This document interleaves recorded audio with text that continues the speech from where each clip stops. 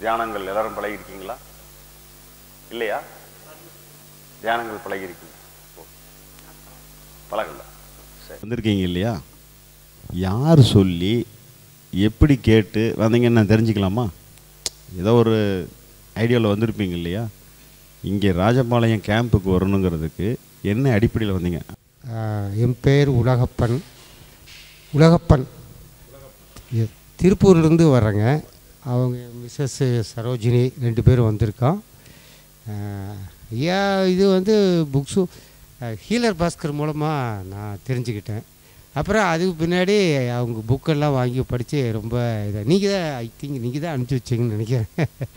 அதுக்கு முதல்லையே புக்கு வாங்கி வச்சு இது பண்ணேன். அப்புறம் புக்ஸ் எல்லாம் ஆல்மோஸ்ட் எல்லா புக்ஸும் இருக்குது முன்னாடியே ரெண்டு தடவை ட்ரை பண்ணேன். முகாமுக்கு சேலத்தில் ஒன்று லாக்டவுனுக்கு முன்னாடி ரெண்டுமே கடைசி நேரத்தில் கொஞ்சம் வர முடியாத இதாகிடுச்சு இது வந்து எப்படி இருந்தாலும் வந்து அட்டன் பண்ணோன்னு ஒரு க இதில் வந்து வந்துட்டோம்.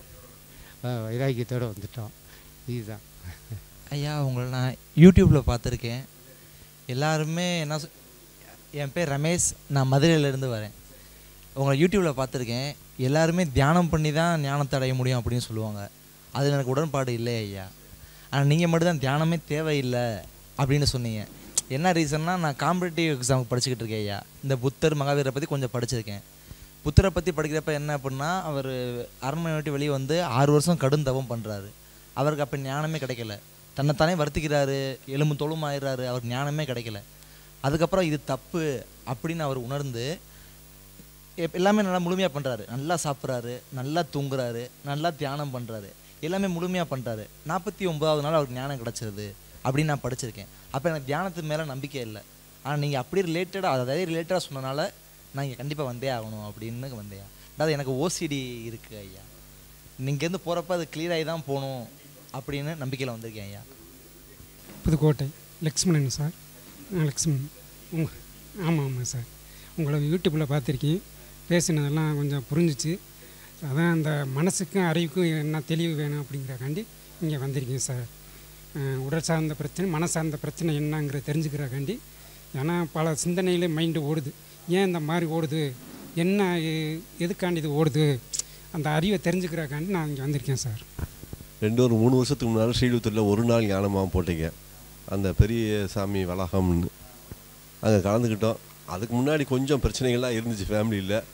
அப்போ அப்போ வந்து கொஞ்சம் கொஞ்சம் மனசு கொஞ்சம் ஆறுதல் இருந்த மாதிரி இருந்துச்சு. அதுக்கப்புறம் தான் உங்களை புஸ்தகம் பூரா அங்கேயே கொஞ்சம் வாங்கிட்டு வந்தேன். இப்போ மாத இதழ் வந்து பகவத் பாதை புஸ்தகம் வந்து வாங்கிட்டு இருக்கேன். படித்தோம்னா சரி எல்லாம் சரிதான். எதுவுமே தப்பு கிடையாது எதுவுமே ரைட்டு கிடையாது. எல்லாமே ரைட்டு தான். நல்லதும் கிடையாது கெட்டதும் கிடையாது. எந்த நினைவுகளும் நல்லது தான் சரிதான் அது. எல்லாம் ஒரே வேல்யூ தான் அதுக்கு. அப்படிங்கும்போது அதுக்காக நீங்கள் குற்ற உணர்ச்சி எதுவும் பண்ண வேண்டாம் அப்படின்லாம் அப்புறம் யூடியூப்பில் ரொம்ப எடுத்து டவுன்லோட் பண்ணிலாம் கேட்டிருக்கேன். இதெல்லாம் பார்க்கும்போது பார்க்கும்போது கொஞ்சம் மனசுக்கு நல்லா இருக்குது சரி எப்போயாவது ஒரு முகாமில் ச போயிடணும் அப்படின்னு நினச்சிட்டு இருந்தேன். தற்செயலாம் இங்கே போட்டீங்க. ஒரு சந்தர்ப்பம் கிடச்சா நான் மொத மொதல் பார்த்த உடனே பயஞ்சிட்டேன் ரெண்டு பேருக்கும். தேங்க்யூ சார் குமார் ராஜபாளையம் தான் சொந்த ஊர். ராஜபாளையம் தான். இது வரைக்கும் எதுவுமே உங்களை பற்றி நான் எனக்கு தெரியாது. இவங்க என் மிஸ்ஸஸ் என் வீட்டம்மா. அவங்க எல்லாமே உங்களை பற்றி யூடியூப்பில் நிறையா பார்த்துருக்குறாங்க. பகவதையாவை பற்றி அவங்க சொல்லி உள்ள சண்டை போட்டு வந்திருக்கிறோம்.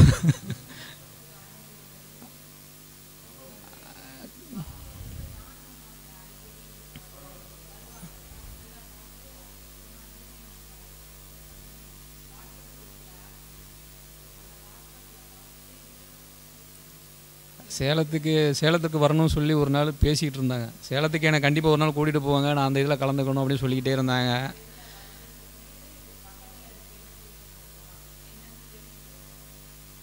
எனக்கு இதை பற்றி எதுவுமே கிடை தெரியாது. அவங்க அவங்க அவங்க அதை பற்றி தான் எதுவுமே பண்ணுவாங்க. சுத்தமே படாதீங்க.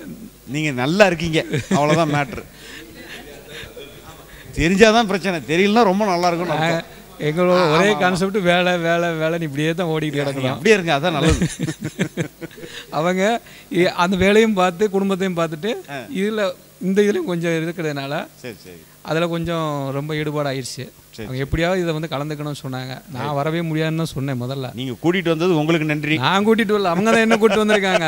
இல்லை இருந்தாலும் இப்போ நீங்கள் அவங்க சொன்னாங்கன்னு சொல்லிட்டு எத்தனை பேர் அதையும் கூட்டு வராமலாம் இருக்கிறாங்கல்ல. அந்த இதில் வந்து அப்படியா? ஆமா சரி அவங்களுக்கு நீங்கள் அவர் கூட்டு வந்ததுக்கு உங்களுக்கு நன்றி. அவங்க தான் என்ன கூட்டிட்டு வந்திருக்காங்க. நான் அவங்கள கூட்டிட்டு வரல. சரி சரி சரி சரி. நான் இன்னைக்கு டிரைவர் மாதிரி தான் சரி, நான் சரி. கூட வந்துருக்கேன். ஆனா எழுதிட்டு வந்தது எல்லாமே அவங்க தான். நீங்களும் ஞானியாக எல்லாம் விடுங்க. கண்டிப்பா. நன்றிங்க. ஒரு மூணு வருஷத்துக்கு முன்னால் சேலமில் ஐயாவோட கிளாஸ் நடந்தது. அப்போ வந்து ஒய்ஃபை கூப்பிட்டு வந்து வந்து அட்டன் பண்ணாங்க ஃபுல்லாக ஹீலர் பாஸ்கர் மூலமாக தான் உங்களுக்கு தெரியும். ஹீலர் பாஸ்கர் கிளாஸ்லாம் ஃபுல்லாக அட்டன் பண்ணாங்க இப்போ ஐயாவை பற்றி நிறைய சொல்லியிருக்காங்க. அப்புறம் அந்த கிளாஸ் அட்டன் பண்ணோன்னே அவங்கள ஒரு டிரைவராக கூப்பிட்டு வந்து விட்டு வந்தேன். சரி சரி சரி. அப்போ இருந்து சொல்லிகிட்டே இருந்தாங்க.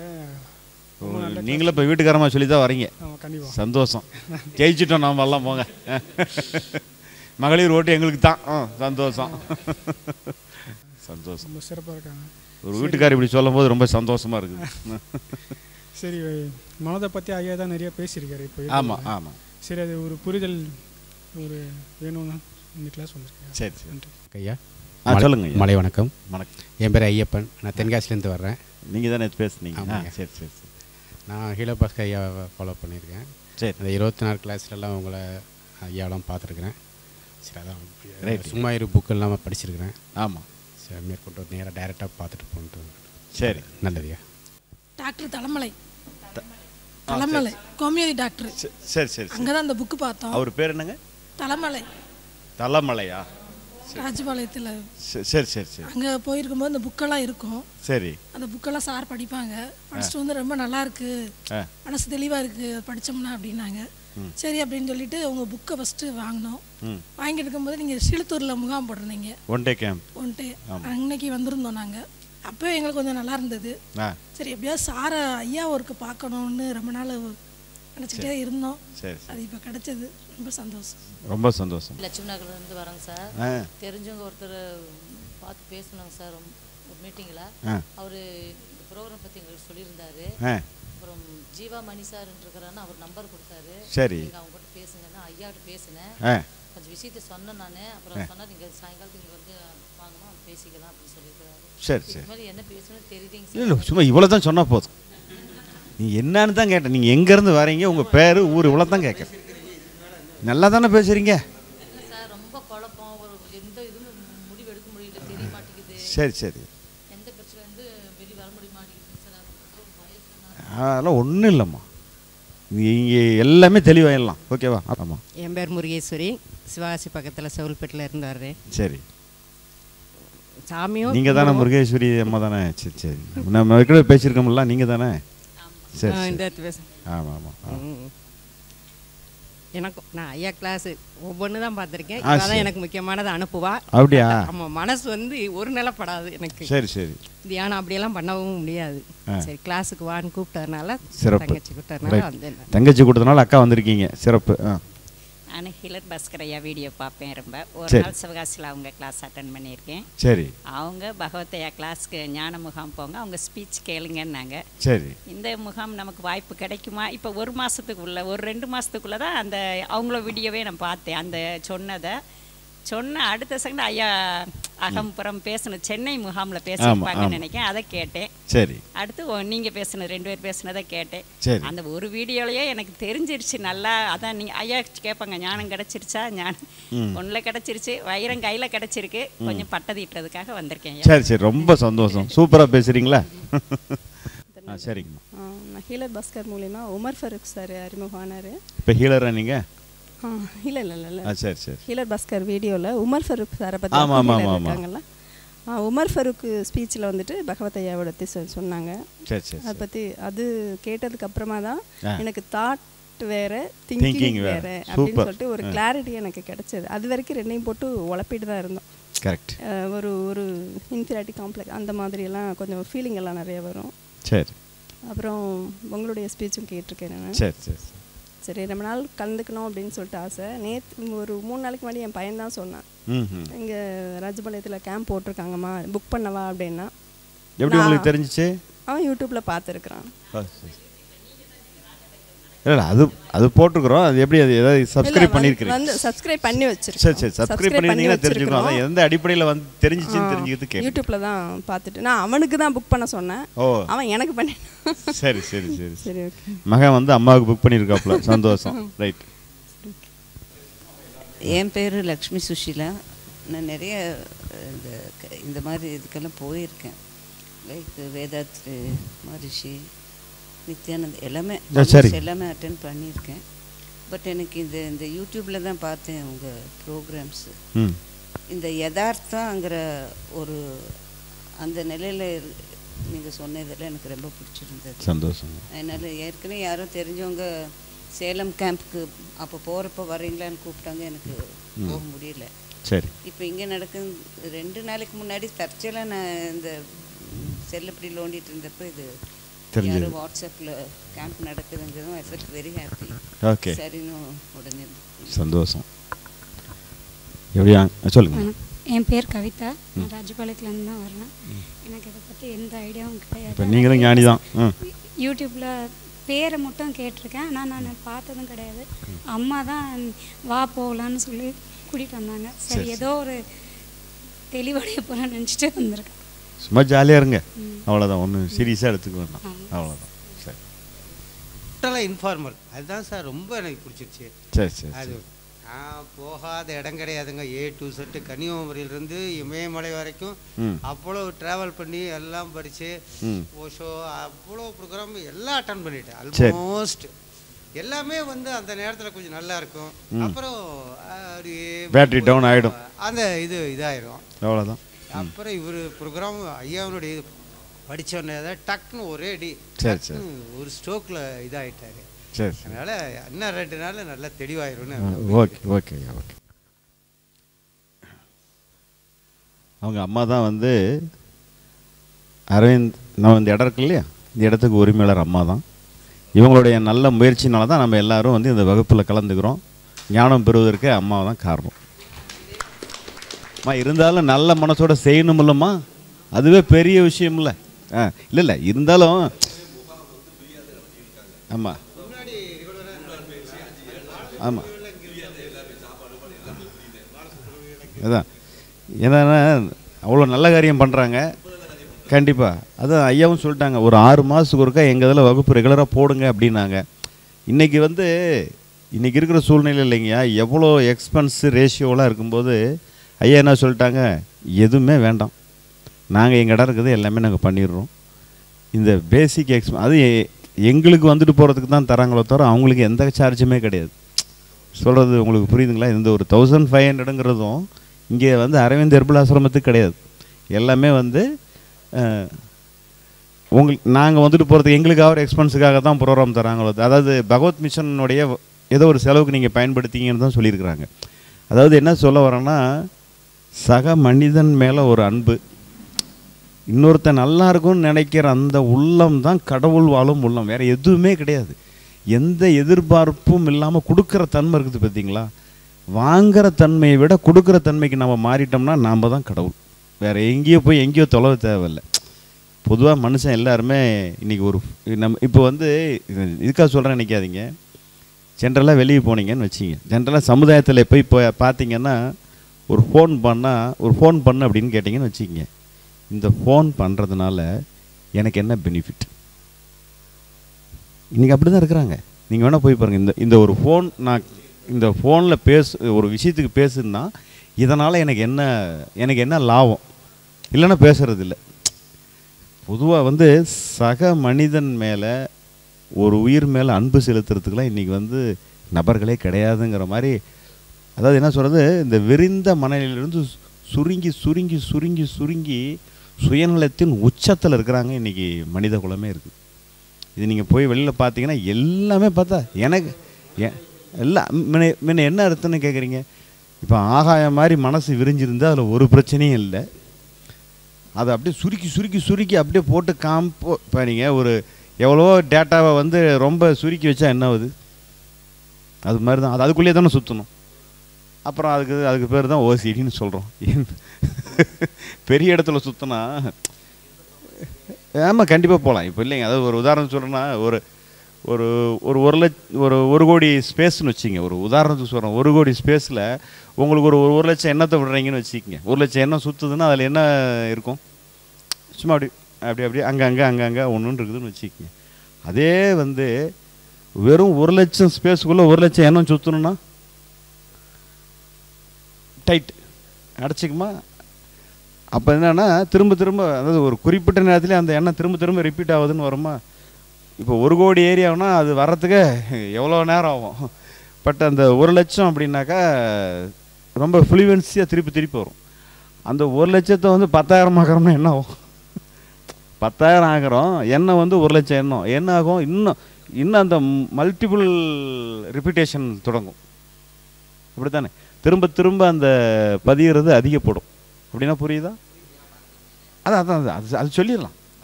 ஒன்றும் இல்லை நம்ம பவுண்டரியை உடைச்சிட்டோம்னா மேட்ரு முடிஞ்சு போச்சு. ஒரு வட்டம் போட்டுக்கிட்டு நம்ம வட்டம் தான் நாமன்னு இருக்கோம்ல அந்த வட்டத்தை உடச்சிட்டோம்னா இப்போ வந்து இப்போ இந்த இந்த இந்த ரூம் இருக்குன்னு வச்சுக்கிங்க. இந்த ரூம்பே வந்து இந்த சைடு சேவரெலாம் எடுத்துட்டேன்னா அப்படியே ஏகம்னு சொல்லுவோமா? அதாவது தடை எதுவும் கிடையாது இல்லையா? அந்த மாதிரி மனசுக்குள்ளே போட்டுக்கிட்டு இருக்கிற ஒரு ரவுண்டை வந்து பிரேக் பண்ணுறோம் நாம் பண்ணுறது அதுதான். எல்லையை வந்து அதாவது செவுரு கட்டிக்கிற செவரெலாம் உடைக்கிறோம். உடச்சிட்டோம்னா அப்படியே உடச்சிட்டு அப்புறம் தான் ஸ்பேஸ் பெருசாகிடுது இல்லை அவ்வளோதான் மேட்ரு நீங்கள் இப்படி தான் என்னது செயல்படுதுன்னு வச்சுருக்கிற அந்த ஒரு ஒரு ஈகோ ஒரு பிடிப்பு ஒரு நீங்கள் வேணும்னு வைக்கல. இப்படி தான் இருக்கணும். ஓ, ஏதோ நமக்கு கற்பித்தது சமுதாயத்தில் சொல்லி வைக்கப்பட்டது முன்னோர்கள் கேட்டது எத்தனையோ விஷயங்கள் அடிப்படையில் கேள்விப்பட்ட நியூஸு செய்தி இப்படி எத்தனையோ விஷயத்தினால ஒரு காங்க்ரீட் மாதிரி ஒரு ஃபார்ம் ஆகிடுது மனசுக்குள்ளே ஆகிடுது ஆக்சுவலாக வந்து மைண்டுன்றது வந்து ஒரு ஸ்டாண்டர்டான ஸ்ட்ரக்சரே கிடையாது.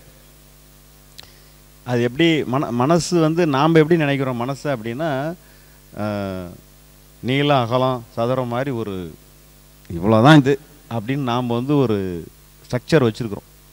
ஆனால் மனசு எப்படி இருக்குதுன்னா மனம் என்பது கடவுள் நமக்கு கொடுத்துருக்கிற ஒரு மிகப்பெரிய கிஃப்ட் ஒரு கருவி.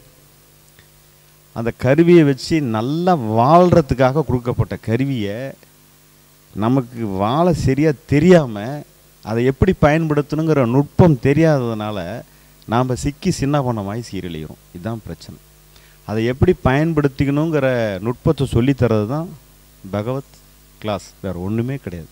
சிம்பிள் இப்போ இன்னும் சிம்பிளாக சொல்லணும்னா நம்ம எல்லாருமே காத்தாலேருந்து ராத்திரி வரையிலும் தூங்கி எழும்புனது முதல் நைட்டு படுக்கிற வரையிலும் நீங்கள் செய்கிற அத்தனை செயல்களும் எதை வச்சு செய்கிறீங்க சூப்பர். ஒவ்வொரு செயலும் மனதை வைத்துத்தான் செய்கிறீர்கள். அதில் எந்த சந்தேகமும் இல்லையா? மனசை பயன்படுத்தாமல் உங்களால் எந்த வேலையாக செய்ய முடியுமா? எந்த வேலையுமே செய்ய முடியாது. ஸோ ஒரு செயல் செய்ய வேண்டும் எனில் மனதை பயன்படுத்தித்தான் அந்த செயலை செய்ய முடியும். அதில் எந்த குழப்பமும் இல்லை தானே? கரெக்ட் ஆனால் இப்போ நான் உங்ககிட்ட ஒரு கேள்வி கேட்குறேன். உங்கள் மனம் எவ்வாறு செயல்படுகிறது அப்படிங்கிறது உங்களுக்கு தெரியுமா? ஒரு ஒரு இப்போ என்னென்னு கேட்டிங்கன்னா இப்போ இந்த செல்ஃபோன் எப்படி யூஸ் ஆகுதுன்னு எல்லாருக்கும் தெரியும் தானே? இதில் ஒரு ஆப்ரேட்டிவ் சிஸ்டம் இருக்குது. இதில் சிம் இருக்குது. சொல்லுவீங்களா இல்லையா? டேட்டா இருக்குது. இதெல்லாம் கேட்டிங்கன்னா இத்தனை நாள் ஆனால் முடிஞ்சு போயிடும். மேம் இதே குறையுது அப்படின்னு சொல்லி இதில் எல்லாம் ஒரு லிமிட் சொல்லுவீங்க இல்லையா?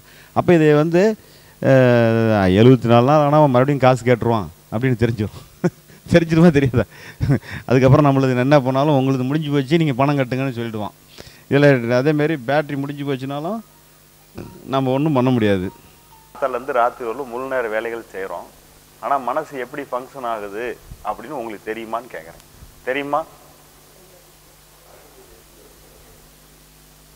ஏன்னா அதை பற்றி இல்லை அதை பார்த்து போயிட்டு இருக்குதுங்கிறதெல்லாம் கரெக்டு இப்போ அப்படி தெரிஞ்சுக்கிற ஒரு நுட்பம் தெரிஞ்சால் தானே அதை நம்ம என்னமோ ஒன்று யூஸ் பண்ண முடியும். இந்த இப்போ தான் ஃபோனை சொன்னேன் இந்த ஃபோனை எப்படி பயன்படுத்த முடியும்னு சொன்னேன். இப்போ பேட்ரி குறைஞ்ச வாட்டி நம்ம இந்த ஃபோனை பயன்படுத்தவே முடியாது. நீங்கள் என்ன பண்ணாலும் சார்ஜ் போட்டால் தான் பயன்படுத்த முடியும். அந்த மாதிரி ஒன்று ஒன்றுக்கு ஒரு ஒரு லிமிட் இருக்குது இல்லையா? அந்த மாதிரி மனசை எப்படி பயன்படுத்தணும்? ஒன்றும் இல்லை வீட்டில் மிக்ஸி வச்சுருக்குறாங்க. மிக்சியில் கல்லை போட்டு அரைக்க முடியுமா? முடியாது. மிக்சியில் என்ன அரைக்க முடியும்? சட்னி அரைக்க முடியும். அது அதுதான் அதுக்கு அரைக்க முடியும். இந்த ஹார்டு மெட்டீரியல் அரைக்கிறதுக்கு வேறு கிரைண்டிங்க்கு அதுக்கு வேறு மாதிரி இருக்குது இல்லையா? முகம் அரைக்கிறதுக்கும் கிரைண்டர் இருக்குது அது வந்து இந்த கிரைண்டர் யூஸ் ஆகாது. அந்த மாதிரி அதுக்கு அதுக்கு ஒரு எல்லை அதுக்கு ஒரு இருக்குதுல்ல அந்த மாதிரி மனசு வந்து ஒரு கருவியை எப்படி பயன்படுத்தணுங்கிறைய ஒரு நுட்பத்தை தான் நாம் சொல்லித்தரோம் சரிங்களா?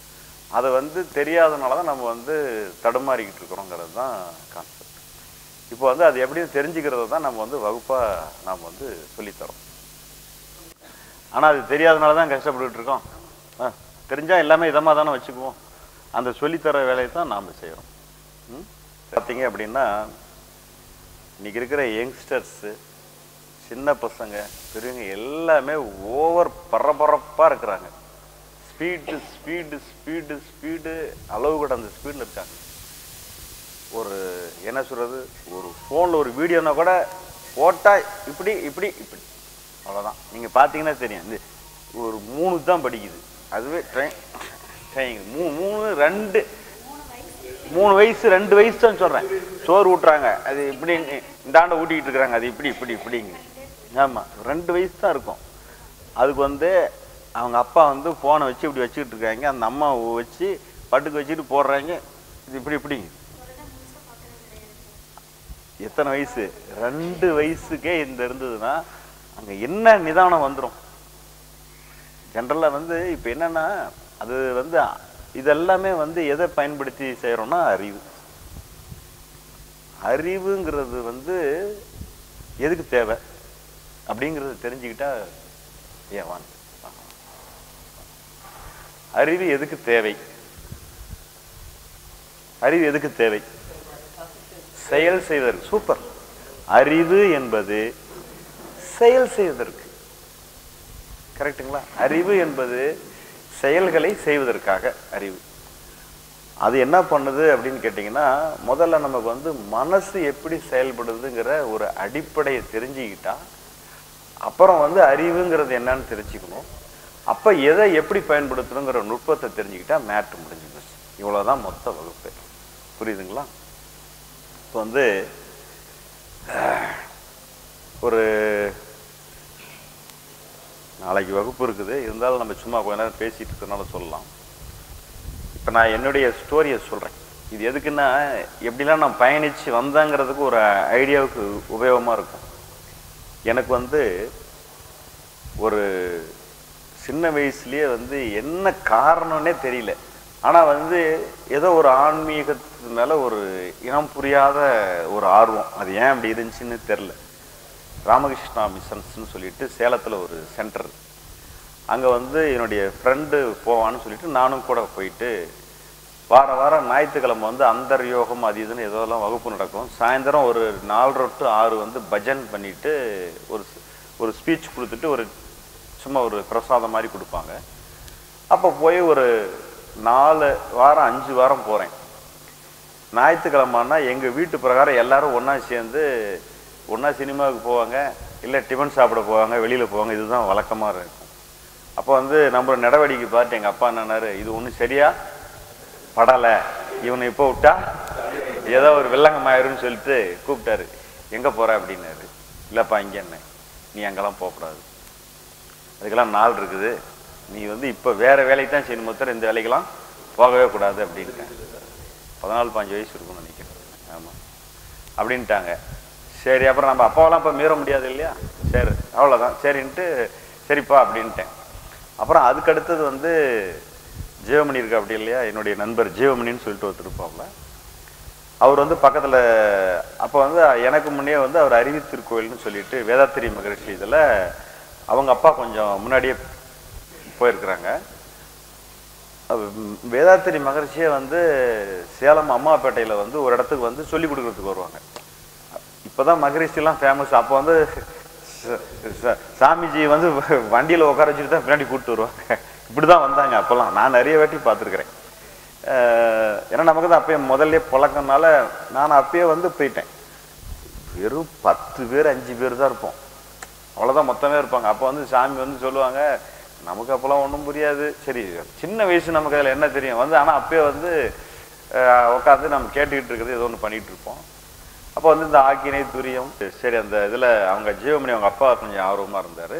சரின்னு போகும்போது எல்லாமே மகரிஷி தான் நமக்கு ஆக்கினை துரியம் துரியாதீதம் வரிசையாக எல்லாமே அவர்கிட்ட தான் நான் வாங்கினேன். ஆசிரியர் பயிற்சி வரலுமே அவர் கையில் தான் வாங்கினேன். அப்போ கிட்டத்தட்ட நான் கல்யாணத்துக்கு முன்னாடி ஆசிரியர் பயிற்சி வரலும் வாங்கியாச்சு. ஆனால் என்ன ஆச்சு அப்படின்னு கேட்டிங்கன்னா நமக்கு தெரிஞ்சது அப்போ அதில் தான் இதுக்கு என்னென்னா எங்கள் அப்பா அதில் என்னென்னு பார்த்தீங்கன்னா லேடிஸ் ஜென்ஸ் எல்லாம் போகலாம் வரலாம். இப்போ ராமகிருஷ்ணா மிஷன்ஸ்னால் ஆரஞ்சு வேஷ்டி கட்டிக்கிட்டு அது வந்து ஒரு சாமியார் கோலம் இருக்கும். பட் வேதாத்திரி மகிழ்ச்சியில் அந்த பிரச்சனை கிடையாது. அவர் வந்து பார்த்தாரு ஓ எல்லாம் குடும்பம் பிள்ளைகள் குட்டியோடு வந்து போகிறாங்க இங்கே ஒன்றும் பிரச்சனை இல்லை. சாமியார் ஆகிறதுக்கு சுத்தமாக வாய்ப்பு இல்லைங்கிறதுல உறுதியான வாட்டி நீ இங்கே என்ன கூட போயிட்டு வா. ஏன்னா எங்கள் அப்பாவுடைய நண்பர்கள் சிலரெல்லாம் அதில் கூட இருந்தாங்க. பெரும்பாலும் அதெல்லாம் ஒரு பிரச்சனை இல்லை பையனை அனுப்பிச்சு விடு ஒன்றும் ஆக மாட்டான் அப்படின்னாரு. அவர் சரி. ஏன்னா பெற்றோரோட நல்ல கடமை தான் தப்பாக சொல்லலை. ஏதோ தப்பாக ஏறக்கூடாதுல்ல? அப்படிங்கிற ஆஸ்பெக்டை தான் அவங்க பார்த்தாங்க. சேர்ந்துட்டு அப்புறம் போயிட்டு அப்புறம் அதில் போய் நல்லா இன்வால்வ்டாக ஃபுல் எஃபெக்ட் எடுத்து நல்லா எக்ஸசைஸ்லாம் பண்ண ஆரம்பித்த போது உடம்புலாம் சூப்பராக ஆயிடுச்சு. மகரிஷி எக்ஸசைஸுக்கு மேலே நல்ல எக்ஸசைஸுங்க அதெல்லாம் காம்ப்ரமைஸே கிடையாது. இன்னைக்கு வரலும் சொல்லணும் இன்றைக்கும் மகரிஷி எக்ஸசைஸ் செஞ்சுக்கிட்டு தான் இருக்கிறேன். அதெல்லாம் ஆமாம் ஆமாம் மக மகரிஷி எக்ஸசைஸை பக்காவாக செஞ்சோம். அதாவது என்னென்னா உடல் வந்து நல்லா ஆரோக்கியப்பட்டுருச்சு. அதில் எந்த சந்தேகமும் இல்லை. ஆனால் உடலோட அணுகுமுறை மாதிரி தான் மனசுக்குன்னு சொல்லிட்டு எண்ணம் ஆராய்தல் ஆசை சீரமைத்தல். நான் வந்து எ- எதையும் குறைவாக சொல்கிறேன்னு தவறாக நினச்சக்கூடாது எனக்கு நடந்த நான் ஃபீல் பண்ணதை ஒரிஜினலாக பேசுகிறேன் மறைக்காமல் எப்படி ஃபீல் பண்ணணும் அப்படித்தான் பேசுகிறேன் சரிங்களா? அப்போ சினம் தவிர்த்தல் கவலை ஒழித்தல் இதெல்லாம் நான் யார் இதெல்லாமே படிக்கிறோம் வகுப்பு எடுக்கிறாங்க கேட்குறோம். எல்லாம் கேட்குறப்ப நல்லா இருக்கு. ஆனால் இங்கே கோபம் வருது. இங்கே அமைதியே இல்லை. இங்கே டென்ஷன் ஆகுது. கேட்குறோம். நமக்குள்ளே மாறினா நம்ம அக்செப்ட் பண்ணிக்கணும். மாறலை. இப்போ என்ன பிரச்சனை? இப்போ ஒரு விஷயம் நமக்கு பயன்பட்டால் தானே கரெக்டு செயல் அதாவது இப்போ நான் சொன்ன ஒரு ஒரு பொருளை எப்படி யூஸ் பண்ணால் தானே அது நமக்கு யூஸ் ஆனால் தான் கரெக்டு விஷயம்லாம் கேதல் கேள்விப்படும் போது நல்லா இருக்கு. ஆனால் செயலாக்கத்துக்கு வரல. ஆனால் என்ன சொல்கிறாங்க நான் என்ன பண்ணுவேன்னு கேட்டிங்கன்னா என்கிட்ட ஒரு கெட்ட பழக்கம்னு சொல்கிறதா இல்லை அதுதான் நம்மளை வளர்த்துச்சான்னு சொல்ல முடியாது. ஒரு ஆகினேன்னு சொல்லி இங்கேன்னு சொன்னால் கூட எனக்கு தெரிஞ்சதுனா தான் ஒத்துக்கணும் தவிர இன்னொருத்தர் ஆஹா ஓகோன்னு சொல்கிறாங்கங்கிறதுக்காக ஆ, ஆ, ஆ, எனக்கு வந்துருச்சு. நாம் அப்படின்னு நான் எனக்கு நான் ஏமாத்திக்காமல் இருப்பேன். என்னுடைய விஷயமே வந்து என்னென்னா என்ன அவங்க எவ்வளோ புகழ்ந்து அது என்ன சொன்னால் கூட தப்பாக நினச்சிக்காதீங்க. எனக்கு ஒன்றும் தெரிலிங்க அப்படின்ட்டுருவேன் நிஜ நிஜமா தெரிலன்னா தெரிலன்னு தான் நான் சொல்லணும். ஆமாம் நான் சார் ஒரு விஷயம் சொல்கிறாங்கன்னா எனக்கு தெரிஞ்சால் தான் நான் தெரியுதுன்னு சொல்ல முடியும். நீங்கள் சொல்கிறீங்கிறதுக்கு நான் எப்படி சார் ஒத்துக்க முடியும்? ஆமாம் அந்த இதுக்கு பாடு தான் நம்ம படாத பாடு பட்டோம். போதும் உண்மையை உண்மைன்னு ஒத்துக்கோன்னு சொல்லி அந்த ஒரு எனக்கு ஒரு விஷயம் எனக்கு சின்ன வயசுலேருந்தே இருந்தது. அதனால் ஆனால் நான் ஆர்கனைலாம் நான் ஃபீல் பண்ணினேன். துரியத்தெல்லாம் ஃபீல் பண்ணேன் இது எல்லாமே ஃபீல் பண்ணதை தான் ஒத்துக்கிட்டோம். ஆனால் வந்து இந்த விஷயத்தில் வந்து கோபம் கண்ணாப்புனான்னு வருது. கோபம் குறையில. வேண்டாத எண்ணம் ஊருட்டது வந்துக்கிட்டு இருக்குது. என்ன பண்ணணும்?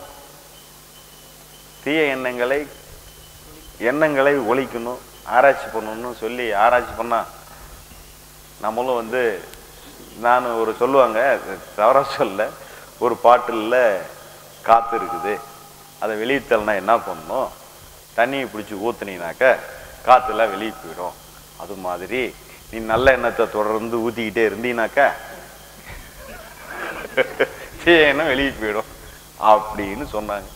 நானும் ஊற்றினேன் ஊற்றினேன் ஊற்றினேன் ஊற்றினேன் பதினெட்டு வருஷம் இருபது வருஷமாக ஊற்றிட்டேன் ஒன்றும் பாட்டு தான் கீழே விழுந்து உடஞ்சிட மாட்டேருக்கு தவிர ஒன்றும் எனக்குள்ளே ஒன்றும் மாறுதில்லை.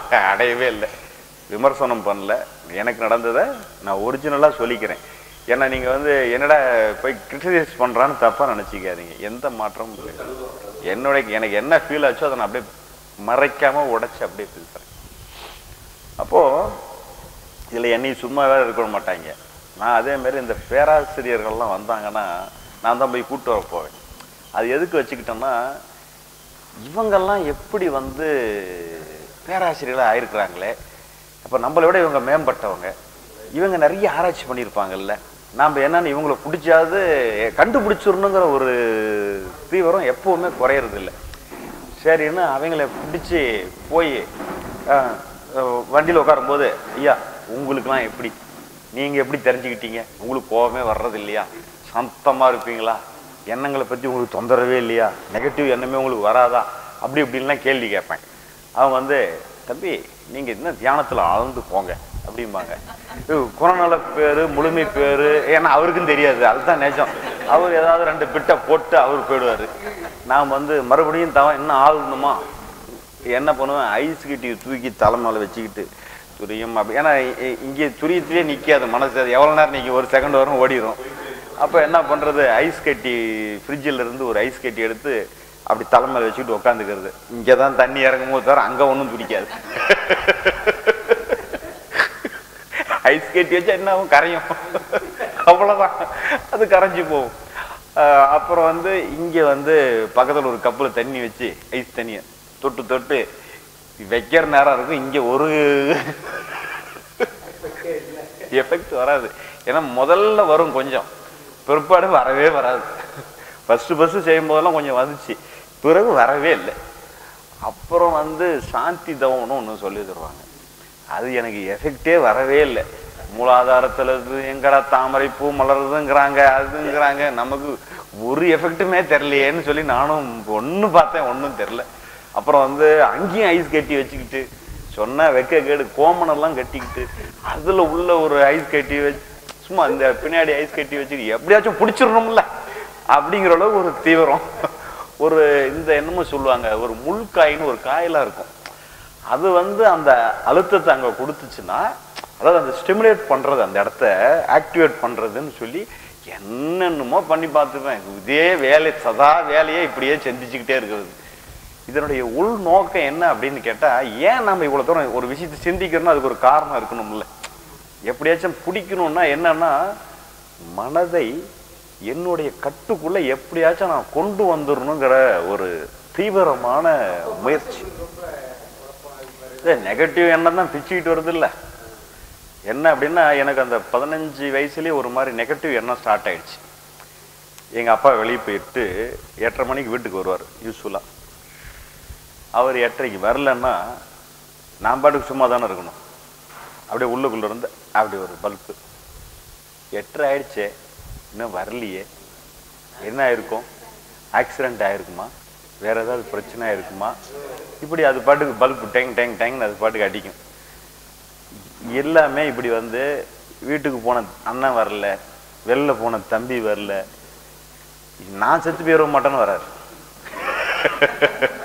நம்மளை சார்ந்தவங்களும் போனவங்க வருவாங்களா வரமாட்டாங்களாங்கிறதே ஒரே ஓடிக்கிட்டே இருக்கும். இது யாருக்கு பிடிக்கும்? இப்படி இருக்கிறது யாருக்காவது பிடிக்குமா? கண்டிப்பா பிடிக்காது. எப்படி பிடிக்கும்? அப்ப நமக்குள்ள இருந்து ஒரு விஷயம் வெளிப்பட்டுக்கிட்டு இருக்குது. ஆனா நமக்கு பிடிக்கல. இப்போ பிரச்சனையே வந்து எ- எனக்குள்ளதான் அது வந்துகிட்டு இருக்குது. எனக்கு பிடிக்கல. இதை சரி பண்றதுக்கு தான் நான் என்ன பண்றேன்? எனக்கு என்ன சொல்லி கொடுத்தாங்க? நீங்க எல்லாம் புதுசா வந்திருக்கிறீங்க. ஐயா கருத்தை தெரியாம இருக்கிறீங்கன்னா மனசை சரி பண்றதுக்கு என்ன பண்ணுவீங்க? பகவத் ஐயாவை பத்தி தெரிஞ்சிருக்கக்கூடாது தெரியலன்னா என்ன செய்வீங்க? கேள்வி சூப்பர். தியானம் தான் பண்ணுவீங்க. தியானம் பண்ணி என்ன பண்ணுவீங்க? தியானம் சரி அடுத்தது கேள்வி. தியானத்தின் நோக்கம் என்ன? இப்ப இப்ப பத்தியே பேசக்கூடாது. நீங்க பழையபடியே நீங்க சொல்லுங்க. தியானம் செஞ்சு மனசை வந்து உங்களுடைய கட்டுப்பாட்டுக்குள் நான் விரும்பியபடி என் மனம் செயல்படுத்துற மாதிரியான ஒரு வடிவத்துக்குள்ள கொண்டு வரணுங்கிற முயற்சிக்கு தானே அந்த தியானம். கரெக்ட் அதுக்கு தானே அதுக்கு தானே தியானம் வேற எதுக்காவதா தியா இல்ல. சரி, நிலைப்படுத்துறது எதுக்கு பண்றீங்க? சரி.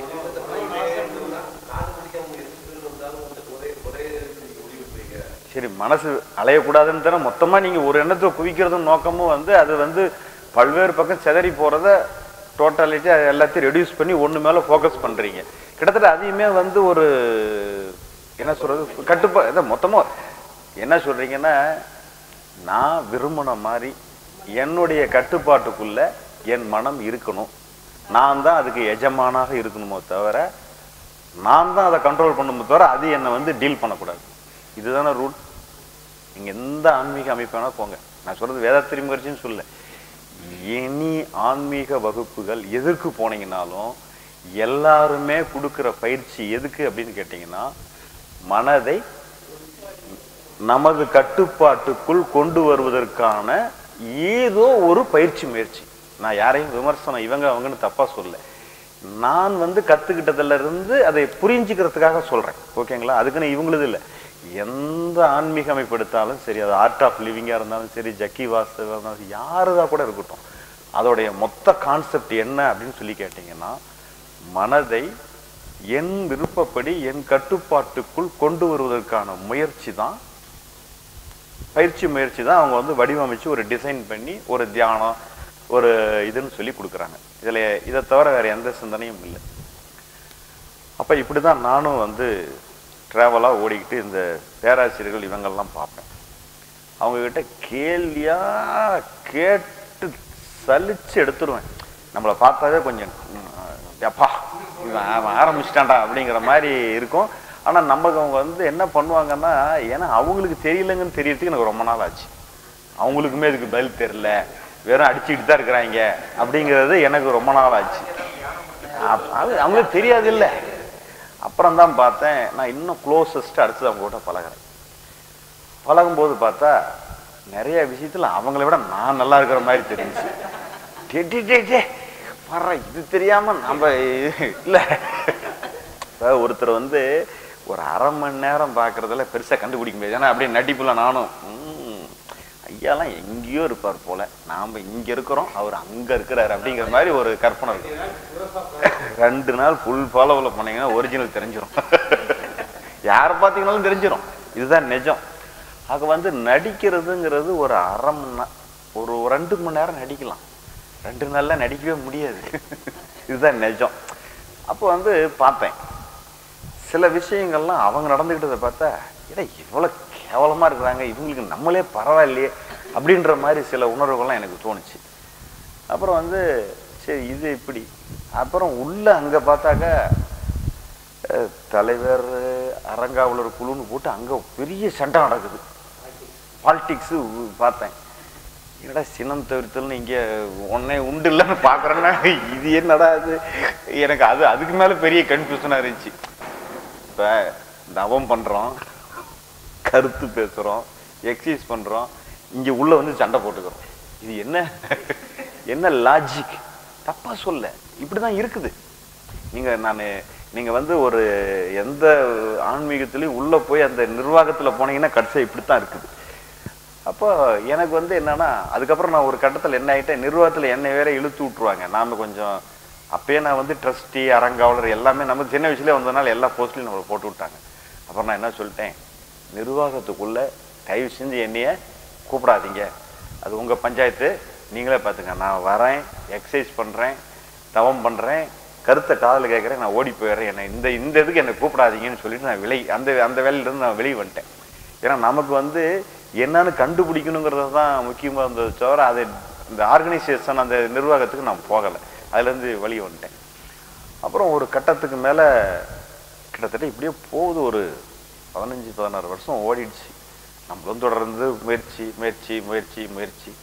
அப்புறம் ஒரு கட்டத்தில் அதில் ராதாகிருஷ்ணன் ஒருத்தர் வந்து கன்னியாகுமரியில் வகுப்பு நடத்துவார். ஏஎஸ் ராதாகிருஷ்ணன் சொல்லிட்டு ஒருத்தர் நடத்துவாங்க. அங்கே வந்து போய் பார்த்தா அவர் வந்து வேதாத்திரி மகிழ்ச்சி வந்து ஓஷோ புக்கு அதெல்லாம் எடுத்து அவர் ஒரு மாதிரி லெசன் சொன்னாங்க நமக்கு இங்கேருந்து புதுசாக கேட்டாக்கா இது வித்தியாசமாக சூப்பராக இருக்கே. இது ஐயா சொன்னார் எங்கே போனாலும் ஒரு வாரம் தான். ஒரு வாரத்துக்கு அப்புறம் அந்த பேட்டரி டவுன் ஆகிடுது சரி அப்புறம் வந்து என்ன பண்ணுறது இனிமேல்ட்டு நம்ம வந்து ஆன்மீகத்தின் எல்லைகளை உடைத்து விடுவோம். எந்த ஆன்மீகனாலும் சேர பார்க்கறதுன்னு ஆரம்பிச்சாச்சு.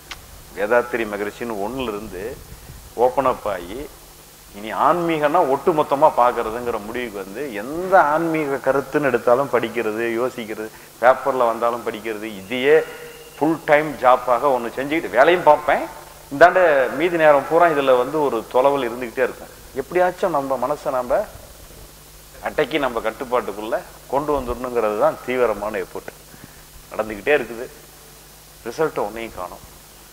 அப்போ என்ன பண்ணுவோம்? திருவண்ணாமலை போகிறது ரமணர் புஸ்தகத்தை நான் வாங்கிட்டு வர்றது.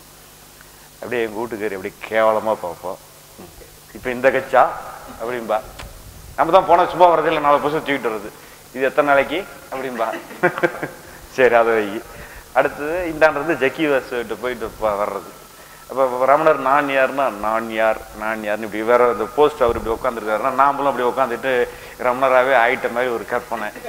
இப்படி எல்லாம் அதாவது அந்த பாவனைகள்ல மயங்கி போய் அப்படிலாம் யோசிச்சுக்கிட்ட அப்படியே இருக்கிறது. ஏகமா இருக்கிறது எது எல்லாம் ஒண்ணு இல்லைன்னு இருக்கிறது இப்படின்ட்டு எதையோ எதையோ யோசிச்சுக்கிட்டு இருக்கிறது. அப்புறம் அதுலேருந்து இந்தாண்டு ஜக்கி வாசு போனீங்கன்னா அவரு பூரா பாம்பு. எங்கே பார்த்தாலும் அங்கே பாம்பு இங்கே பாம்பு எல்லாம் இறக்கி விட்டு த்ரில்லிங்காக இருக்கும் நமக்கு. போய் ஒரு ரூமில் தங்கினேன். தாப்பாலு பாம்பு. தாப்பாலும் பாம்பு தாங்க. உள்ள கதவு கதவு சாத்துற தாப்பாலும் பாம்பு. ஆ, இது இந்த கை கொ- கொண்டி போடுவோம்ல அது பாம்பு. சட்டை மாத்துறது போனா அது பாம்பு. ஆ? ஆமா எல்லாம் எல்லாம் பாத்தீங்கன்னா அங்கங்க பாம்பு. நமக்கு பாம்புனாவே பயம். எங்க பார்த்தாலும் பாம்பு. எப்படி நம்ம தூங்குறது? ஆமா. இங்க எப்படி நமக்கு மன அமைதி வருமா? நமக்கு நமக்கு வேற படுத்தா பக்கத்துலேயே பாம்பு படுத்துக்கிற மாதிரி ஒரே ஃபீலிங்காக இருக்கு முதல்ல அப்புறம் அங்கே ஒரு ரெண்டு மூணு நாள்லாம் இருந்து பார்த்துட்டு அது ஒரு மாதிரி இருந்து அவர் ஒரு மாதிரி புரிஞ்சு அப்புறம் என்ன பார்த்தீங்கன்னா அதில் இந்த நெலிக்கோளம் அது இதெல்லாம் ஒரு மாதிரி ஆரஞ்சு கலரில் பெயிண்ட் அடிச்சு அவங்க ஒரு மாதிரி டிசைன் நல்லா பண்ணியிருப்பாங்க. அந்த என்ன சொல்கிறது ஆர்ட் லுக்கிங்லாம் ரொம்ப நல்லா இருக்கும் அதில் என்ன பண்ணுவாங்க இலை பழுத்து உளுந்த தலையில் பெயிண்ட் அடித்து அதை ஒரு மாதிரிலாம் வச்சுருப்பாங்க. அப்புறம் என்ன பண்ண சில தலையை பறிச்சுக்கிட்டு வந்து பெயிண்ட் அடிச்சுக்கிட்டு இருந்தேன் வீட்டில் எங்கள் வீட்டுக்காரி இது என்ன இது புதுசா அப்படின்னா. இப்போ இங்கே இங்கே பார்த்துட்டு வந்தியா? அப்படின்னா அதை ஒரு பிரேம் போட்டா அது ஒரு இது மாதிரி ஆ, இதுல இருந்து அங்க போயிடுறது.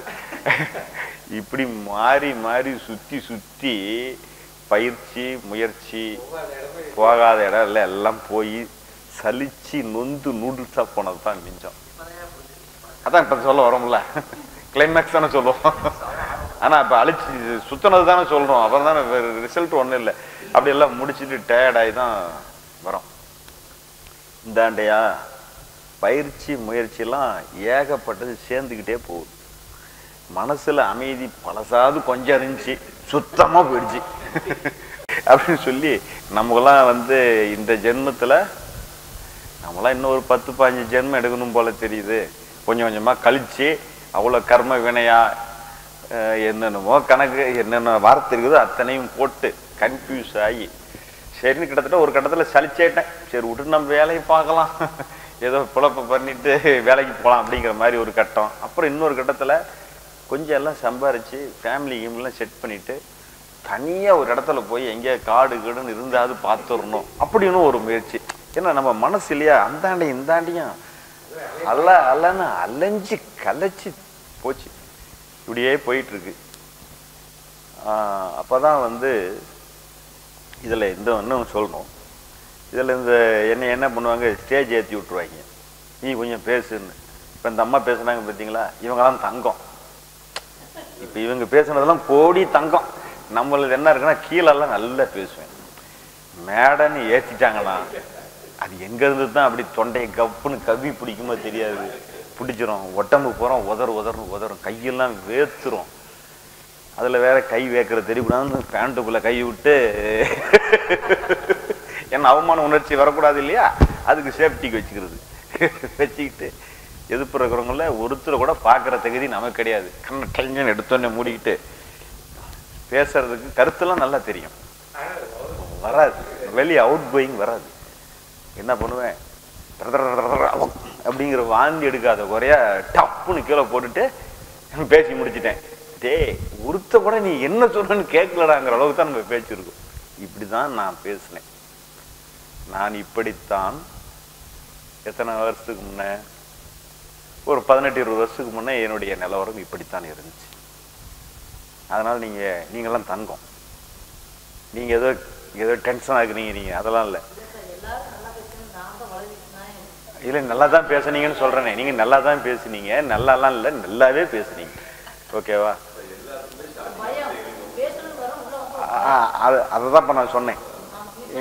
புரிஞ்சுதா? இப்படி தான் நான் இருந்தேன். அதுக்கு மேலே என்னன்னு கேட்டிங்கன்னா ஒருத்தரை நேருக்கு நேர்னு பார்க்கறதுங்கிறது நம்மளால் முடியவே முடியாது. சைட் டைப்னு சொல்லுவாங்க தெரியுமா? அந்த மாதிரி தான் நான் இருந்தேன். ஆம்பளைங்களாவது ஒன்று ரெண்டு. மகளிர் பக்கம் வேலைக்கே ஆகாது ஏன்னா இங்கே ஏதாவது ஒரு தப்பாக எண்ணம் வந்துடும் நான் ரொம்ப ஃப்ராங்காக பேசுகிறேன் போச்சுடா என்ன நாம் வருது? நம்மகிட்ட இப்படி தப்பா வரும் என்ன தானா வருது. ஆனா எனக்கு அது தெரியாது. நானா வர்றதத்தான் நான் நினைப்பேன். நமக்கு வந்து எனக்குன்னா ரொம்ப நீலாம் நாய் புலப்படா ஒண்ணுது அப்படின்னு சொல்லி என்ன சொல்லிக்குவேன் நீ நீலாம் வந்து பிறந்ததே வேஸ்ட் பூமிக்கு பாரமா தெண்டமா அளவா பிறந்திருக்க அப்படின்னு என்னை நானே நினைச்சுக்குவேன். ஏன்னா இப்ப ஒருத்தர் நம்ம கிட்ட பாக்குறோம். இவங்களை பற்றி ஒரு தப்பாக என்ன நமக்குள்ளே வந்ததுன்னா அது எவ்வளோ கஷ்டம் இல்லையா? நம்மளை அவங்க எவ்வளோ மதித்து நம்மக்கிட்ட பேசுகிறாங்க நமக்கு அவங்க மேலே இப்படி ஒரு தப்பான எண்ணம் வருது. ஐயோ ஐயோ அப்படின்னு சொல்லி டார்ச்சர் உள்ள. குற்ற உணர்வு கொண்டு எடுக்கும்ல. ஆ? இதில் வேற வந்து இவங்க அப்போல்லாம் வந்து டீச்சை வந்து நம்மளே கொடுக்க சொல்லுவாங்க. அப்போல்லாம் இருந்ததுன்னா தீச்சை கொடுக்குறதுன்னா நீயே இந்த கிளி கொஞ்சம் நீ தீச்சை கொடுத்து அடுத்த விளங்கணம் மாதிரி தாங்கிறது அது அதுக்கு மேலே பெரிய பிரச்சனை.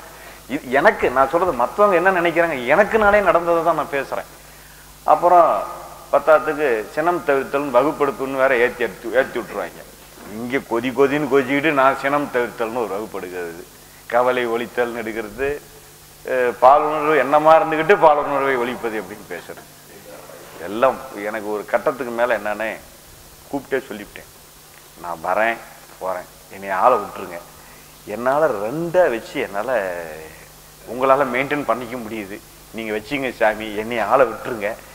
எனக்கு நானாக என்னைக்கு என்னால் செல்ஃபாக நான் பண்ணிட்டேன்னு தெரியுதோ அன்னைக்கு நான் வந்து பேசுகிறேன் அது வரலும் கேட்குறேன் தயவு செஞ்சு என்னைய பேச சொல்லாதீங்கன்னு ரிக்வஸ்ட் பண்ணிவிட்டு பேசுகிறதே டோட்டலாக நிப்பாட்டிட்டேன். ஏன்னா இந்த மனப்பாடம் பண்ணி பேசுறதுனால ஒரு புரோஜனமும் கிடையாது. அது வெறும் என்ன சொல்கிறது ஒரு இடத்துல வாங்கி ஸ்டோர் பண்ணிக்கிட்டதுக்கு அதுக்கும் ஒரு ஒரு வித்தியாசமும் இல்லை. அதனால ஒரு யூஸும் கிடையாது. அது நம்ம சொந்த சரக்கும் கிடையாது. ஒரு புஸ்தகத்தை வாங்கி உள்ளே கரைச்சி குடிச்ச மாதிரி தானே தவிர அதனால ஒண்ணும் கிடையாது. அது என்ன இருக்குது அது ஒ- நம்மளுதே கிடையாது இல்லை நம்மளுது ஒரிஜினல் கண்டென்ட்டாக கிடையாது. இப்படிதான் இருந்துச்சு. இப்படியே போய் போய் அப்புறம் தான் வந்து சலிச்சு இழைச்சி போனது தான் மிச்சம். ஒன்றும் நடக்கல. இதில் கல்யாணம் ஆகுது மீதி நடக்குது. இன்னும் மனசுக்குள்ளேயும் வந்து இப்படி எண்ணங்கள் எதிர்மறை எண்ணங்கள் ஒன்றும் குறைஞ்ச பாடில்லை ஒரு வண்டி நல்லா ஓட்ட முடியல. வண்டி ஓட்டலான்னு ஸ்டார்ட் பண்ணா ஆஸ்பத்திரி நீ போனீங்கன்னா ஆஸ்பத்திரி டாக்டர் அங்கே போனோடனே அடிச்சிருவ. ஆக்சிடென்ட் ஆகிடும் அங்கே டாக்டர் இருக்க மாட்டாரு நர்ஸ் இருக்க மாட்டாங்க பிளட்டு கிடைக்காது ஆம்புலன்ஸ் இருக்காது. சாவியே இன்னும் போடல. ஸ்டார்ட்டே பண்ணல மனசு அங்க போய் நான் முடிஞ்சு கிடிஞ்சு காலி ஆகிற அளவுக்கு போய் நிற்கும் இன்னும் ஸ்டார்ட்டே பண்ணலையாப்பா. இதான் பிரச்சனை. நாம இப்படி இருந்து முள்ள ஒரு இருக்கிற எனர்ஜியெல்லாம் சேர்த்து வச்சு வண்டி எடுப்போம். கூட நண்பர்கள் நாலு பேர் வருவாங்க. யார் ஓட்டுறது? நீயா? போய் சேர்ந்த மாதிரி தான் அவன் கொஞ்சோண்டு சக்தியை வச்சு நானும் ஓட்டலான்னா அவன் அதையும் ஒழிச்சு கட்டிடுவான். குத்தியூர் குளிரமா அதையும் முடிச்சிருப்பான் நான் வந்து இந்தரா நீங்களே ஓட்டி தொலைங்கடா அப்படின்ட்டு போய் கடைசி பஞ்சு கடைசி சேரில் உட்காந்துக்குவேன் ஏன்னா நம்ம சல்பாயிரும் இல்லையா ஒரு வேலை நம்மளால ஒரு மனசு திருப்தியாக செய்ய முடியல. காக்கா குளியல் உள்ள எங்குடுகறி போன வந்து தோட்டிட்டியா? என்ன காலெலாம் தண்ணி போட்டு பழகாலம் ஆயிருக்க மாட்டிருக்குது. அப்படிம்பா.